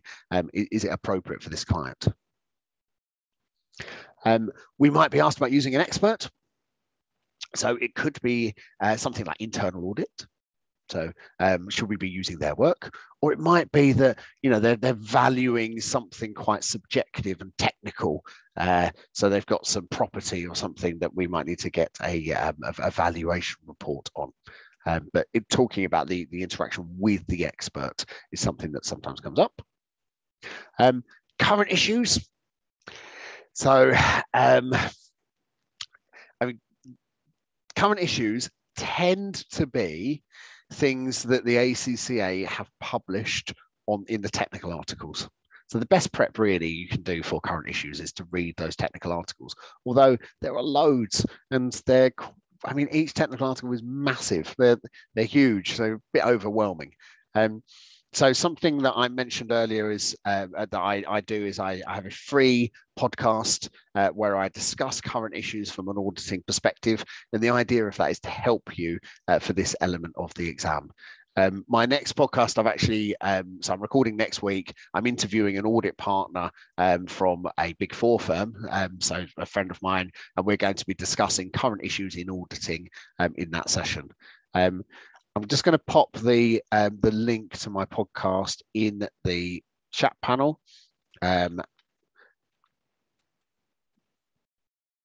So if you would like to sign up for it, um, it's free. You can get it on Spotify.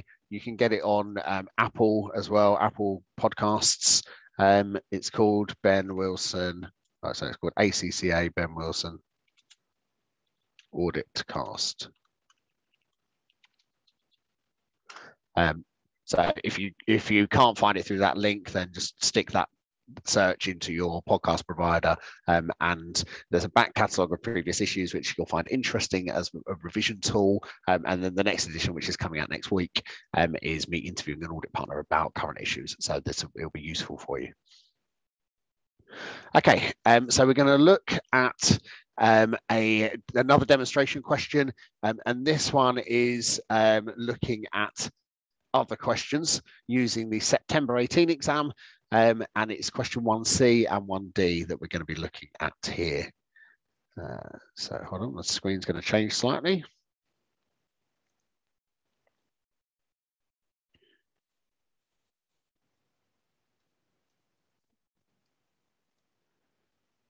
Oh, hold on a sec, screen's going to change again.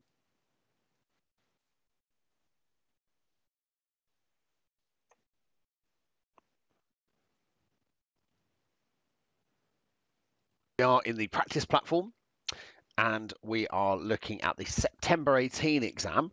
Uh, this has been loaded into the practice platform as practice exam one. And we're starting with part C of question one here. So I'm in question one, the case study question. I'm just going to open up my briefing notes so that I can copy and paste the requirement into here. And the requirement comes in this partner's email. And the question that I'm looking at is part C here. So as always, copy and paste the question into my briefing notes so I can use it to set up my answer plan. So I've got to use the information in Exhibit 6 and do a couple of things. Firstly, I need to evaluate the audit strategy and I'll also need to, there's an and there, look, and so I'm going to have a separate part of my answer plan, discuss any implications for the group audit. I'm just thinking immediately, evaluate the audit strategy.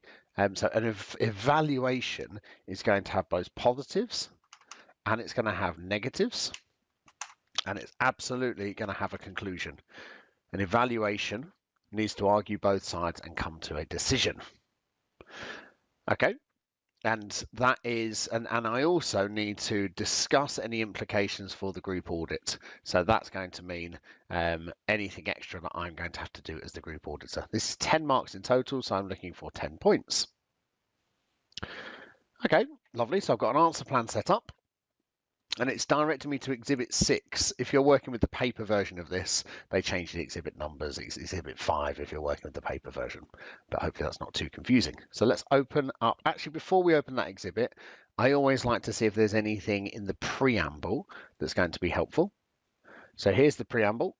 It's July 2005. I'm a manager in the internal audit in the audit department, responsible for the Eagle Group audit. The financial year end is the 31st of August. Okay, that could be relevant, maybe. I don't quite know where yet, but let's get it in here just as a little note. So it's the year end is August 20, 2005, 2015, whatever that is, 2025. Uh, your firm is appointed to audit the parent and all of its subsidiaries, with the exception of Lynx, a newly acquired subsidiary in a foreign country. Okay, so it's a newly acquired subsidiary and it's based in a foreign country. Uh, and it is a local firm of auditors who are doing the work. That's Vulture Associates. I'm not quite sure what of that is going to be relevant to my answer, but it's definitely good background context, isn't it? It's relevant to me to to, to planning my answer. So I might not use all of that, but um, I'm already thinking, well, it might have a different year end. Um, it's a foreign country to, to the parent, so that could cause issues with the audit strategy. Um, it's a foreign country, it could be different rules, newly acquired. We haven't got experience of, of it or of working with this local firm. That's all bubbling over in my mind. Let's get to the detailed exhibit then. So two points below are an extract from the audit strategy. Other sections of the audit strategy, including risk assessment, audit risk assessment, have been reviewed by the group audit team and are considered to be satisfactory. Okay, so that's saying don't make general points. You're only going to get marks for talking about these things down here. So general things aren't going to score marks. Lynx is projected to be loss making this year. And the team is confident that the sufficient procedures on going concern have been planned for. Okay, let's just add that into here as our little note. It's loss making. Okay, they're going to place, so the first thing is around controls effectiveness. So we will place reliance on internal controls, which will reduce the amount of substantive testing which needs to be performed. Um, okay, so out of that first, I'm going, they're doing some controls and some substantive testing. That's decent. So I'm going to put that as a positive. It's more efficient to do that. This is justified on the grounds that in the previous year's audit, controls were tested and found to be highly effective. Hmm. Now, issue there, isn't it? We can't say that the, the, the controls were working well last year, but they're not necessarily working well this year. So that's a negative, isn't it? They should be testing them this year. So they might not be operating effectively anymore. Oh, and actually, another point around that. Um, it, so controls have two parts, don't they? The design of the control and how they're operating. So they might not be working anymore, or it might be that there could have been changes in the business that require new controls. You know, they're now having to report. They're now owned by a different a different company. There might be a change in personnel. There, there could be all sorts of different things. There are changes that have happened at this business. So the controls might no longer be designed properly because the business might have changed. So then we're told we don't plan to retest the controls, as according to management, there have been no changes in systems or the control environment during the year. Okay, now that's a worry, isn't it? They're just relying on management representations here that there's no need to change the controls. So that worries me that they are overly relying on management representations. Um, the fact that there's been no changes in systems or the control environment, that doesn't stack up, does it, with the change in ownership? Um, and the control environment, um, well, they're loss making, aren't they? We're told that up here. That was up here, look. Um, and so maybe that's given an incentive to overstate results to um, to perhaps make the performance look a bit better to so that they don't appear so loss making. Um, and around the control environment, it's definitely changed because there's a change in, in ownership. Okay, I've now used that point about them being loss making, so I'm going to delete it from my little notes at the top. Okay, then on to the internal audit then. Um, so Lynx has offered the services of its internal audit team to help perform audit procedures. Hmm. So this is being offered by the company rather than um, rather than us deciding we want to use it. Just let that bubble over for a minute. But the fact that there is an internal audit team, it makes sense to use them for efficiency. So that's a positive. Um, the fact that they exist is good for the um, the control environment. Uh, we're planning to use the internal auditors to complete the audit work in respect of trade receivables as they have performed work on this area during the year. Hmm, there's a bit of an issue with that. Um, they might have not have um, they might not have done the work to the standard uh, that we would have expected. Uh, they might not have tested in the same way that we may have done. They might lack competence. They might lack ob objectivity. Um, and they're inherently biased, aren't they? That objectivity point because they're employed by the firm. Um, okay, then on to it's more efficient for them to perform and conclude on the relevant audit procedures, including receivable circ and evaluating the allowance for trade receivables. Well, the allowance for trade receivables is a subjective balance. Um, that certainly shouldn't be, we shouldn't be relying on internal audit for that. We should be doing our own work. And actually, I'm coming back to another point here. They've already completed this work on receivables. Um, now, they've got a self-review threat there, haven't they? Um, they might not want to um, they might not want to highlight any weak work that they have pre prepared uh, because it will reflect badly on them. Okay, my conclusion then on this audit strategy, um, having I've got a couple of positives around it, which are basically efficiency, um, but they shouldn't be. They need to do more controls testing. They need to test them this year, um, and um, they shouldn't be just relying on internal audit. They should be doing most of their own work. Um, they should only be looking at internal audits work as supporting evidence. So the audit strategy, I think, is weak here. Okay, so I'll flesh out that conclusion when I write up my answer. So I've, I've kind of got this evaluating the strategy bit, but what I haven't got yet is any implications for the group audit. So what do I need to be doing? Uh, well, I'll around the controls, I'm going to need to insist that they should be um, they should be obtaining evidence. And on the internal audit, uh, I'm going to need to assess um, how much I can rely on their work by looking at things like how objective they are um, and thinking about how competent they are. Are the internal auditors qualified, um, experienced? Um, is their work properly planned and um, and and reviewed? Now, just going back to my plan, um, have, I haven't really used the fact that they're newly acquired. Well, I have said it's acquired during the year. That's a change in the control environment, so I have used that. Um, the fact that it's a change in year end, um, maybe I can get that um, in the design of the, the control environment. Um, so, and the fact that it's a foreign country and a local firm of auditors, maybe that's um, that's going to impact how easy it is for me to oversee the audit. And so maybe that's an implication uh, for my um, for my performance of the group audit. That might be worth a mark. It might not be, um, but I'm, I'm, kind of, I'm going to keep it short, so it could score me credit if I need it. Lovely. So we've now got an answer plan. Let's write it up. So first I've got the positives, my strengths.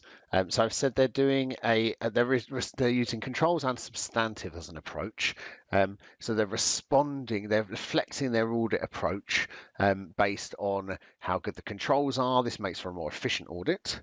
Um, and again, they're making use of the internal audit department, which is allowable under the ISAs um, for a more efficient audit. And we said it's good that the internal audit department exists in the first place. That's good for the um, control environment. Okay, so these strengths, they followed a controls plus substantive approach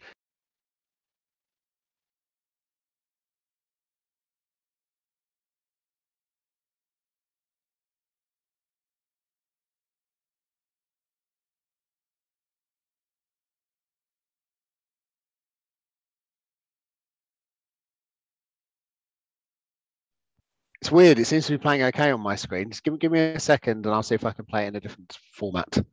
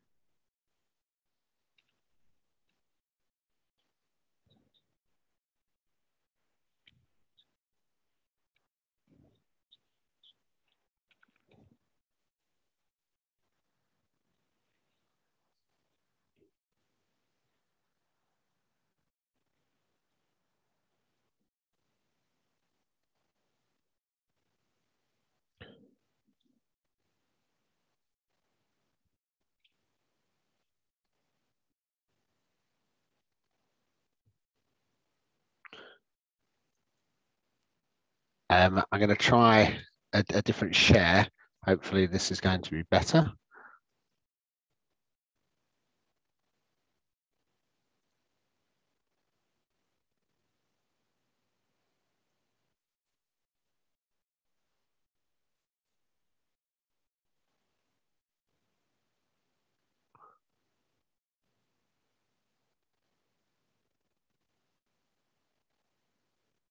It's efficient to flex the amount of substantive testing oh. based on the effectiveness of controls.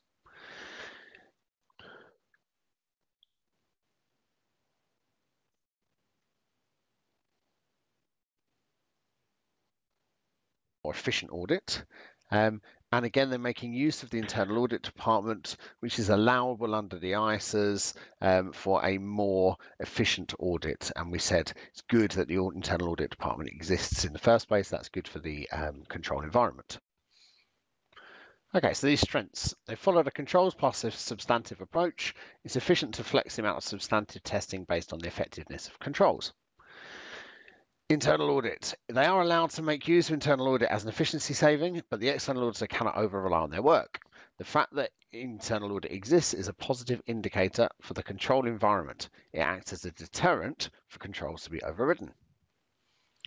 Okay, weaknesses then. Um, so we said the controls were tested last year, but they might not be working properly. There have been some changes in the business, like its ownership and its year-end date. Let's get that in there. Um, and the design of the controls may no longer be effective. Let's write that up. So we said the controls were tested last year. They may no longer be operating effectively. The lack of testing means this would not be picked up. Conclusion that the controls are fine may be inappropriate, meaning that more substantive testing should be performed. Changes at the business, the ownership, year-end date may have changed to August X5, means that the design of the controls may no longer be appropriate. They may no longer be fit for purpose. Um, we are reliant, so next point, we're reliant on management's assessment of controls. They've told us um, that the controls are fine and we've just accepted it. This is quite worrying. We shouldn't have accepted this without doing our own testing. Um, and we've said that the um, the systems may have changed because of the change in ownership. I've kind of got that up here, but we'll no no harm in using it slightly differently here. So let's write that one up. Okay, so the reliance on management's assessment of controls. The auditor should perform their own testing, not one, own testing, of the controls rather than overly relying on management representations. Systems may have changed due to the change in ownership. Likely there will be different controls in place that should be tested. So next up, um, using the fact that they're loss making, um, it means there could have been override of controls to cover up further losses. And that means we should therefore have tested it to pick that up um, and therefore, and, and perhaps done more substantive testing. So the fact the company is loss making, the controls might have been overridden to cover up further losses. Without testing the controls, this would not be picked up. The current reduced amount of substantive testing may not be sufficient to identify issues. That's a detection risk problem. This point here on the control environment having changed, um, I've already got that point there, so I'm not going to write it again. So on to the internal audit work then. Um, so we're relying on internal audits work um, on receivables, but their work has a different emphasis um, to the external auditors. Um, that's not being done for the same purpose, so it might not be appropriate to use their work. Um, and they've got inherent bias because they work at the business. If they uncover a problem, it could put their job at risk, um, particularly if the company goes under, they're loss making. Um, and so um, it's, it's inappropriate uh, to overly rely on their work. So the internal audit work is performed with a different aim or emphasis to external audit work. Internal audit may not have gathered sufficient evidence to allow the external auditors to conclude over receivables. Internal audit are inherently biased. There's a self-interest threat. They may be rel reluctant to identify or highlight significant issues, particularly if they impact going concern, which is a problem because the company is loss making, as it could put their job at risk. So our next point is that the allowance for receivables is subjective. um, and um, we as a um, external auditor, we should be doing our own work because we are less biased. So the allowance for receivables is a subjective judgment. Management may be biased, under providing to perform to boost performance. An internal audit may lack the competence slash independence to challenge management robustly. The external auditor should perform their own testing here. God, my typing is dreadful, isn't it? Okay, and our last point on internal audit is um, they've already done a load of this work. Um, they've got a self-review threat if they're performing further testing uh, because they won't want to highlight errors that reflect badly on them. So internal audit have already performed test work over receivables. A self-review threat exists if they perform further work here, e.g. receivable circularization. They may be reluctant to highlight issues that should have been picked up in their original testing, as it would reflect badly on them to do so. Okay, um, so my conclusion is um, that the audit strategy is weak here. They need to test their own controls and don't overly rely on internal audit. Okay, so the audit strategy is weak, flawed. The planned procedures won't obtain sufficient evidence over controls, and they're planning to overly rely on internal audit. They may report an inappropriate audit opinion to the group auditor. Okay, on to my last bit then, which is implications for the group audit. So with the controls, we said that they should be uh, testing the design of the controls and their operating effectiveness. So the controls, they should communicate with the component auditor and insist that they test the design slash operating effectiveness of controls. Um, with the internal audit, um, we should assess the reliance on their work, um, whether it's appropriate to rely on them at all, how objective are they, how competent are they, is their work properly planned and reviewed. Okay, so with internal audit, I want to assess whether reliance can be placed on any of their work. Assess how objective they are, e.g. do they report to the audit committee or to an executive director? How competent are they? Are they qualified? Is their work properly planned and reviewed? Having made this assessment, direct the component auditor as to whether it is acceptable to rely on any of the internal audit work. Okay, my last point there about it being a foreign firm, and these are sort of wider points. I'm looking at this and thinking, do I need to write any more content for 10 marks? I've got one, two, three, four, five, six, seven, eight, nine, ten. Oh, I've got loads of points in here. I don't need to write anything on that. Um, there's no point in deleting it because it could score me half a mark, maybe, probably won't.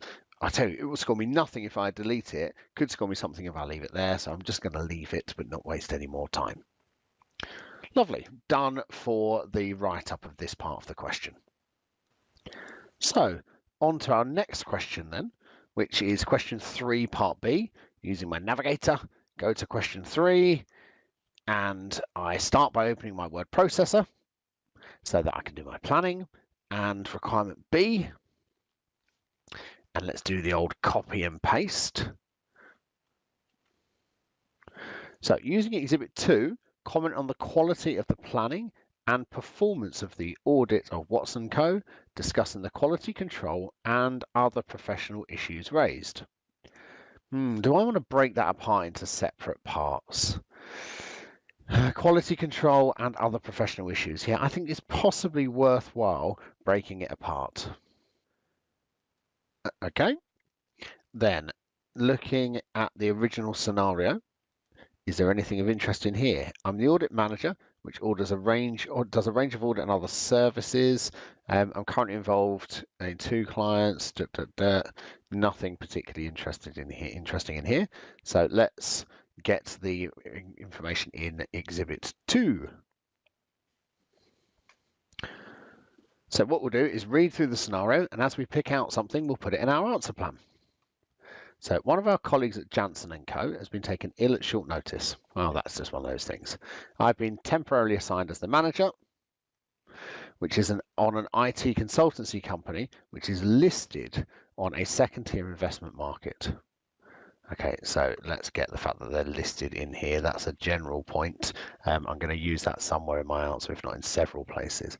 But, uh, but why have they told me that unless I'm supposed to use it? The final audit is approaching completion. You're in the process of reviewing the audit working papers. The draft financial statements recognise PBT of 54.2 million and assets of 23.1 million. Now, why are they telling me that?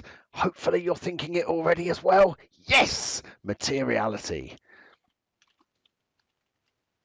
So I'm going to use those figures to do materiality calculations as I go through the answer.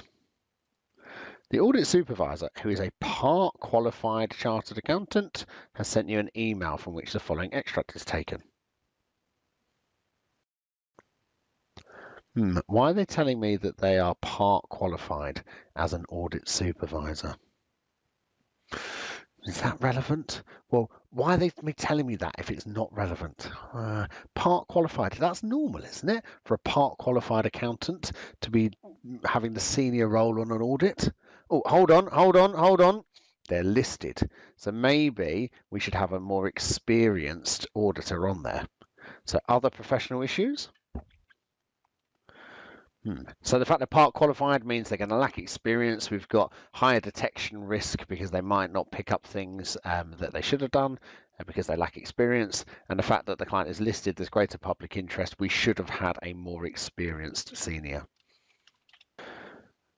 Okay, it's great to have you on board. I was beginning to worry that there'd be no manager review of our working papers prior to the final audit clearance meeting next week. Oh, so there's been no review happening, and the final audit meeting is next week. Um, that's a worry because there's now not much time to resolve any issues. Okay, so it's late to be doing this first review. We might not have identified any issues because there hasn't been any review. There might be lots of issues because the guy is part qualified who's running this audit and we've got less time to resolve them um, ahead of the final audit clearance meeting. The assistant and myself have done our best, but we only saw Rodney on the first day of the audit about a month ago, when I think he was already feeling unwell. Who's Rodney again? Oh yeah, Rodney is the um, the manager who was assigned to this audit. So we only saw him on the first day of the audit about a month ago. We had a short briefing meeting with him when he told us if in doubt, follow last year's working papers. That's not great, is it? What we should be doing at the start of a new of an audit, or before, certainly before the start of the audit, is having a briefing meeting with them so that the audit juniors have a chance to understand the client, to ask any questions, uh, so that they are more likely to detect issues during the audit. So the briefing meeting was on day one of the audit. It should have been done earlier to give the juniors a chance to ask questions so they can understand the client better, so they're more likely to spot issues and therefore lower detection risk. Um, is that quality control or is it another professional issue? I'm going to go, actually, that's an other professional issue. The joy of the word processor. I can. The joy of the word processor, I can just copy and paste it. Lovely. Um, if in doubt, follow last year's working papers. Um, that is poor practice because things might have changed. Um, if we just do the same audit that we did last year, well, that might have been appropriate for the risk profile of the business at that point, but it might not be appropriate now because the business might have changed. So just following last year's working papers, um, that might not be appropriate because the company's systems might have changed, the risk profile of the business might have changed, which would mean that the test procedures are inappropriate. And also, they're a bit too predictable. If the client knows exactly what we're doing because we're doing precisely what we did last year, they might be able to hide things from us. Right, next in the scenario, one issue I want to check with you is that Watson has introduced a cash settled share based payment scheme by granting its directors share appreciation rights for the first time this year. Um, oh, okay, so that is it, it, that, that's uh, adding weight to the fact we can't just follow last year's file. Let's add that in. This was not identified at planning as a high risk area. Hmm, that's a worry for me. Um, this should be a high risk area. They're doing it for the first time and it's complicated. So let's get that in quality control. So they weren't identified as high risk. This is inappropriate because these things are complicated, complicated accounting, and it's the first time they're doing it. Um, there's a higher risk of error.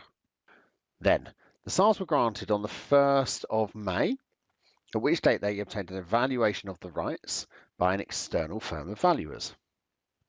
I filed a copy of the valuation report and looked up the valuers online and found a very professional looking website which confirms that they know what they are doing.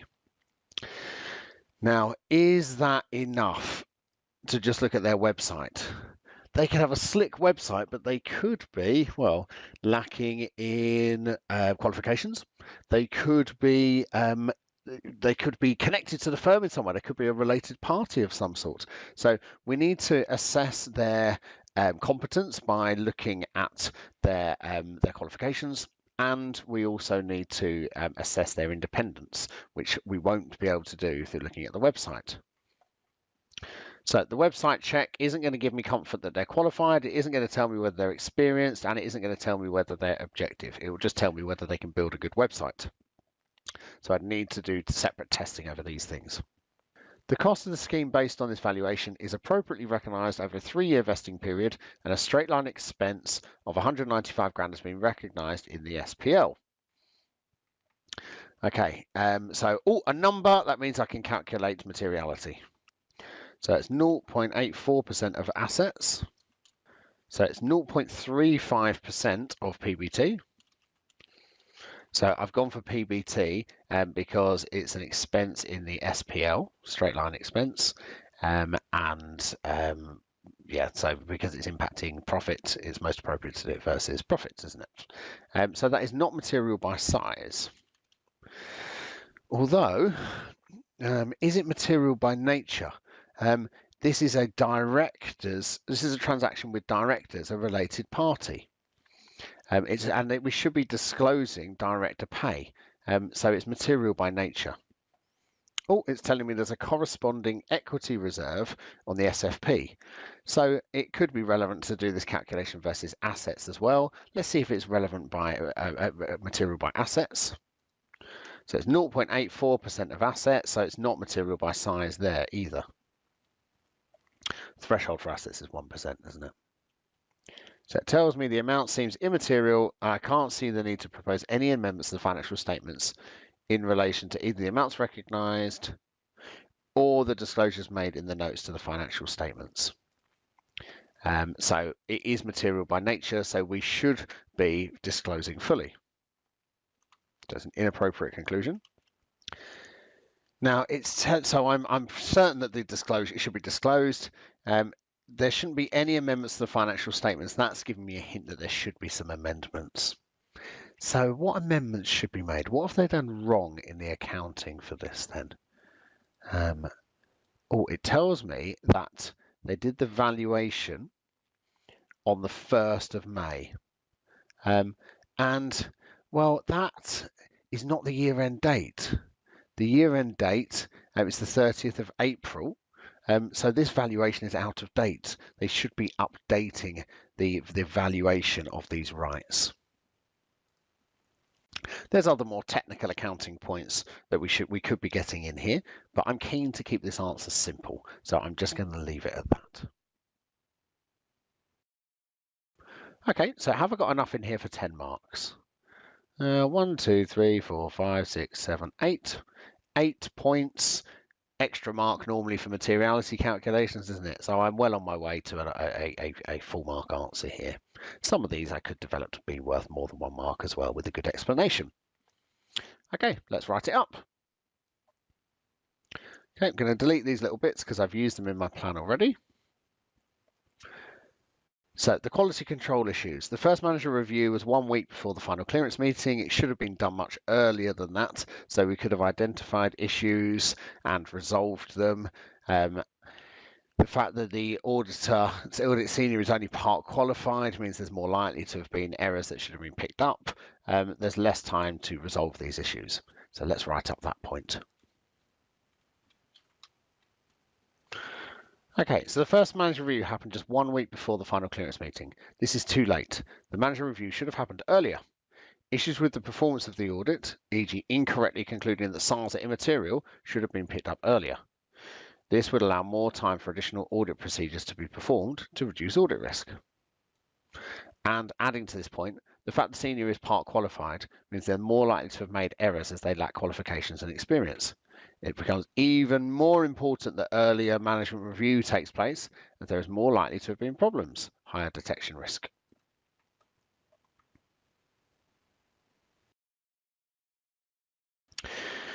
Okay, um, next point we've got in here is about the SARS having been identified as low risk or not high risk. Uh, we think that's an inappropriate conclusion. They're complicated. It's the first time management have done it. There's more of a risk that they've made errors. So the SARS were not identified as high risk. High risk. This seems inappropriate due to the complex accounting required and it being the first time that management have issued SARS. Both increase the risk of error. The auditor should have identified this as high risk and performed more procedures to reduce detection risk slash audit risk. Can I add anything more into this? Well, it could be because the manager review didn't uh, happen early enough. Okay, so it could be because the manager review happened too late. This next point about the website check. Oh yeah, this was of the value, wasn't it? Um, we are not through doing this, we're checking whether they can create a good website, not whether they are qualified, experienced, or are objective of the client. Um, so we might inappropriately rely on the valuation report um, when we shouldn't.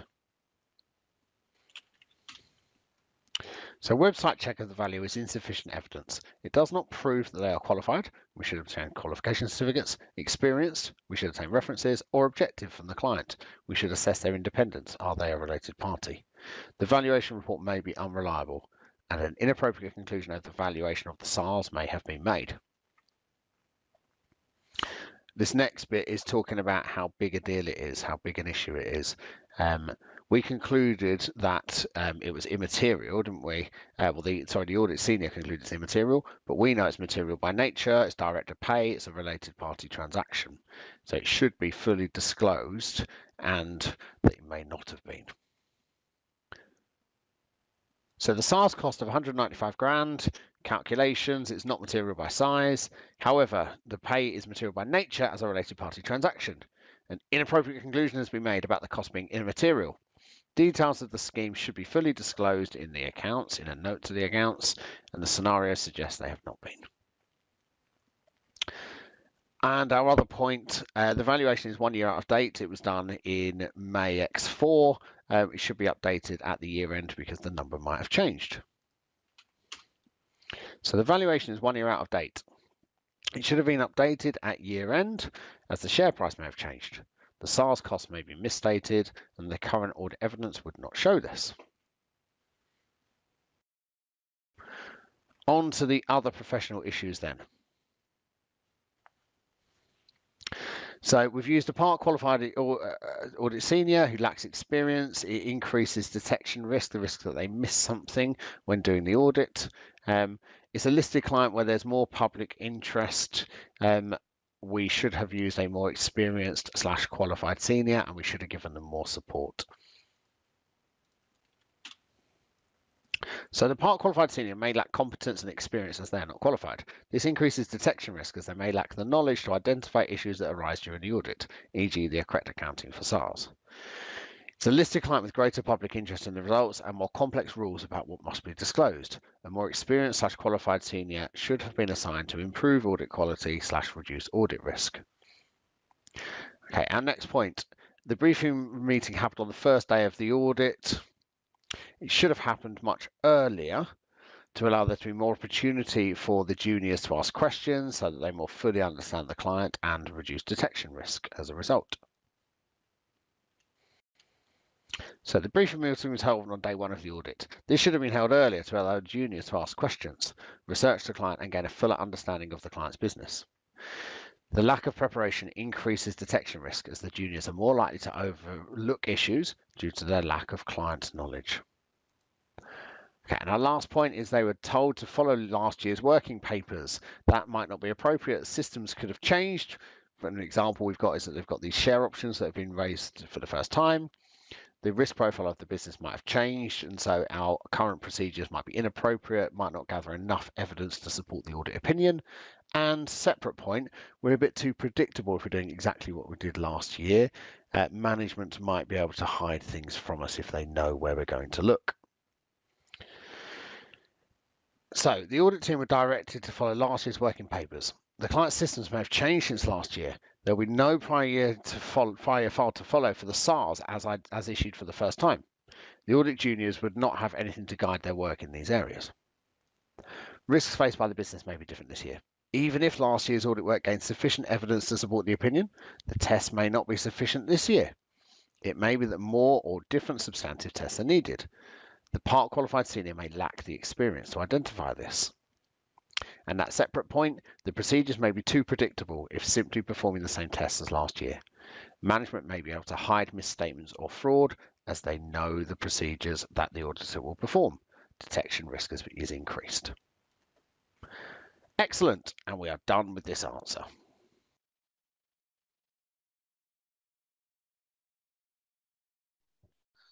Um, okay, I, I realised there were some technical issues with playing that video. Um, I, I, I think it must be the internet my end. Um, when I was playing the first video, it seemed to be absolutely fine, uh, but it's now kind of, I don't know, everyone's up in the UK. And I don't know if bandwidth has got worse or, or what. It seems a bit strange to me. Um, what I'm going to do is uh, share a link to that video uh, with Joanne, who can share it with you. Um, she can email it out to you after the session so you can watch that second video again um, if you if you would like to. Um, I've also um, can see in the chat panel um, that one of my links wasn't working. Um, and here is the correct link. I'm putting it in the chat panel. Thank you. I think it was Luna um, who posted this. that, that this is the correct link to register um, for the um, for for the ACCA session. Okay, uh, back into my slides.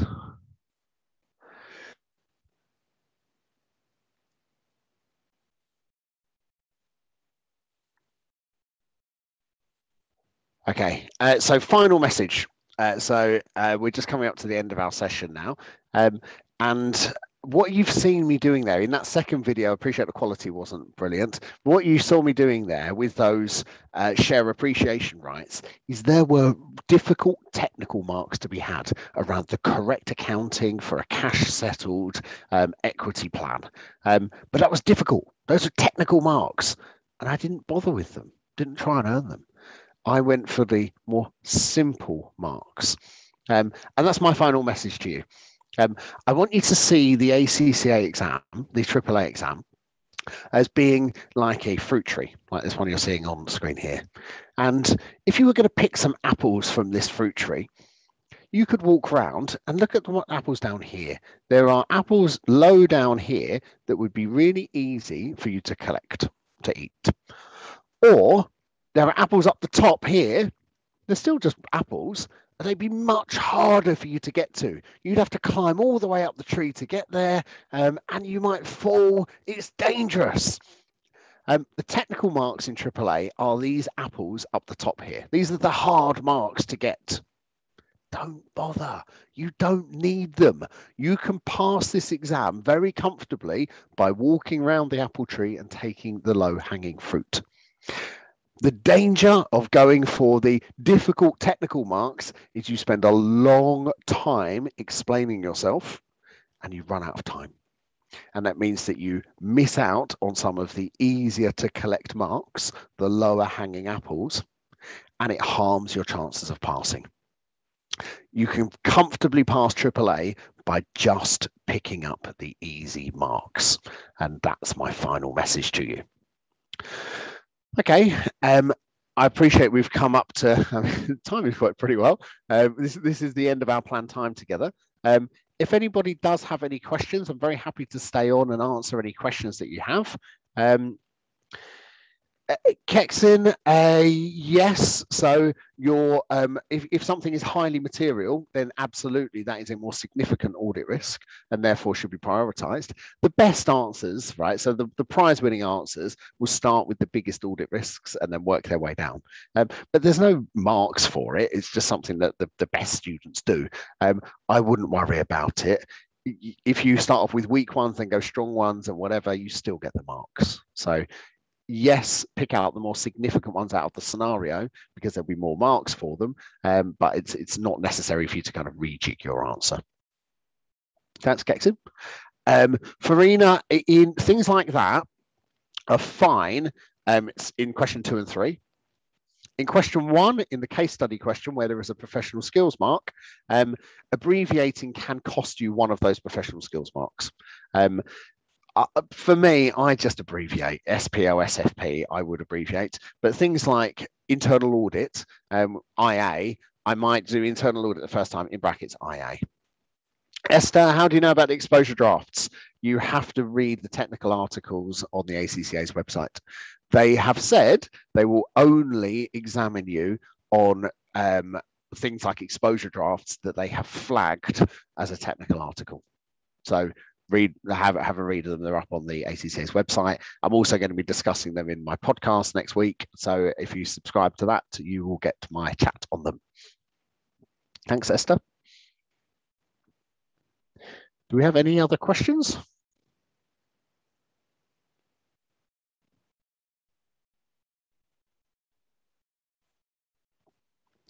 Oh, okay. Mohammed, additional information and audit procedures. Um, so audit procedures um, I'm saying um, what the test is. So inspect title deeds. So the test is an action and, and a source. So inspect title deeds. And I am explaining why. Um, and that would be to confirm rights and obligations that I actually own the asset. That's an audit procedure. Um, additional information would be it's very similar. Um, the additional information would be I'd want to get a copy of the title deeds, um, but I don't need to explain it in as much detail as I do with an audit procedure. But there's a lot of overlap. If you imagine a Venn diagram, additional information is like this, um, and then your audit procedure is a little bit bigger. It encapsulates the additional information, but there's a lot of overlap between those two questions.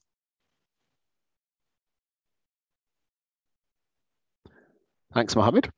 Does anyone have any other questions? Please put them in the chat panel if you do.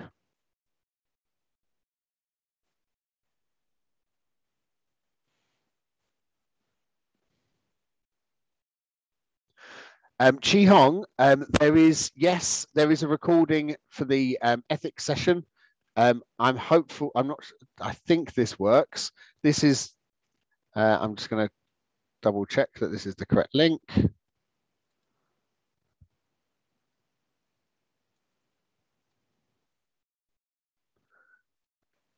Uh, okay, so um, hold on.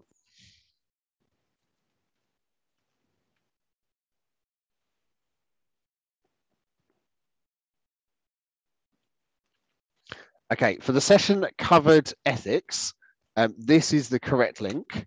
Um, and it will take you through to a registration page for the previous recording I did for ACCA. Um, and that that so this is the correct page for it to take you through to um, and this so this session has already happened and what this will do is give you access to the recording of that session no worries Chi Hong uh, Luna, you're very welcome. Um, it could do Nurul. Um, what they tend to do much more normally is give you the audit opinion paragraph and other extracts from the um, audit report and ask you to critically evaluate them. So they've been done badly and you have to uh, say why. So it is possible they ask you to do that, but they haven't done in the past. Um, so I, it's much more likely they give you it and ask you what's wrong with it rather than saying you write it.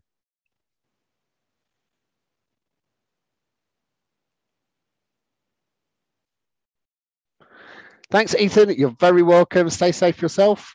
Um, WW um, ratios stuff. Generally, it's capped at four marks for those little calculations. So and they tend to be half a mark per simple calculation. So something like a percentage change, half a mark. Um, something more involved, like a full analytical procedure, might be one mark. Generally, four marks maximum. So maybe do five or six and leave it at that. Um, I what's PAP, Nick? Can we write audit evidence similar to PAP. Ah, can you write audit evidence similar to a principal audit procedure?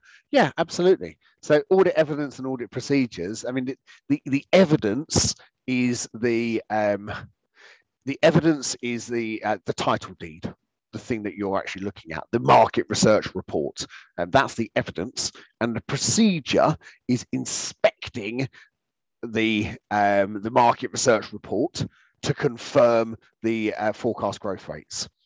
Um, so the the evidence and procedures are again linked, but the procedure is bigger. The procedure uses the evidence, if you like.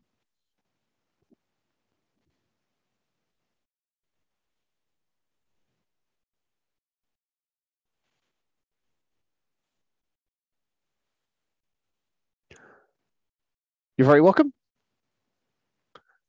Okay, I'll just stay for another 30 seconds or so in case anyone's got any other questions. Uh, Misa, you're very welcome. Um, thank you for all of your engagement. And actually, I'll, I'll take that this chance to thank everybody for attending um, and for getting involved in the session so much. You've made it really interactive, which has been great. Uh, yes, CY, absolutely. A good audit procedure should have three things. It should have an action, like vouch, confirm, um, inspect, that sort of thing. It should have a source document, um, so something like a title deed, and it should have a reason, an explanation as to why this works, what you're doing it for. So um, we'll confirm outstanding balances with uh, receivables directly uh, to confirm the existence and valuation of receivables. You're very welcome, Juan. Thanks, Sarah. Have a great day. Good luck. I hope that you will. Feels uh, best of luck. Best of luck for the exam. Thank you, everybody.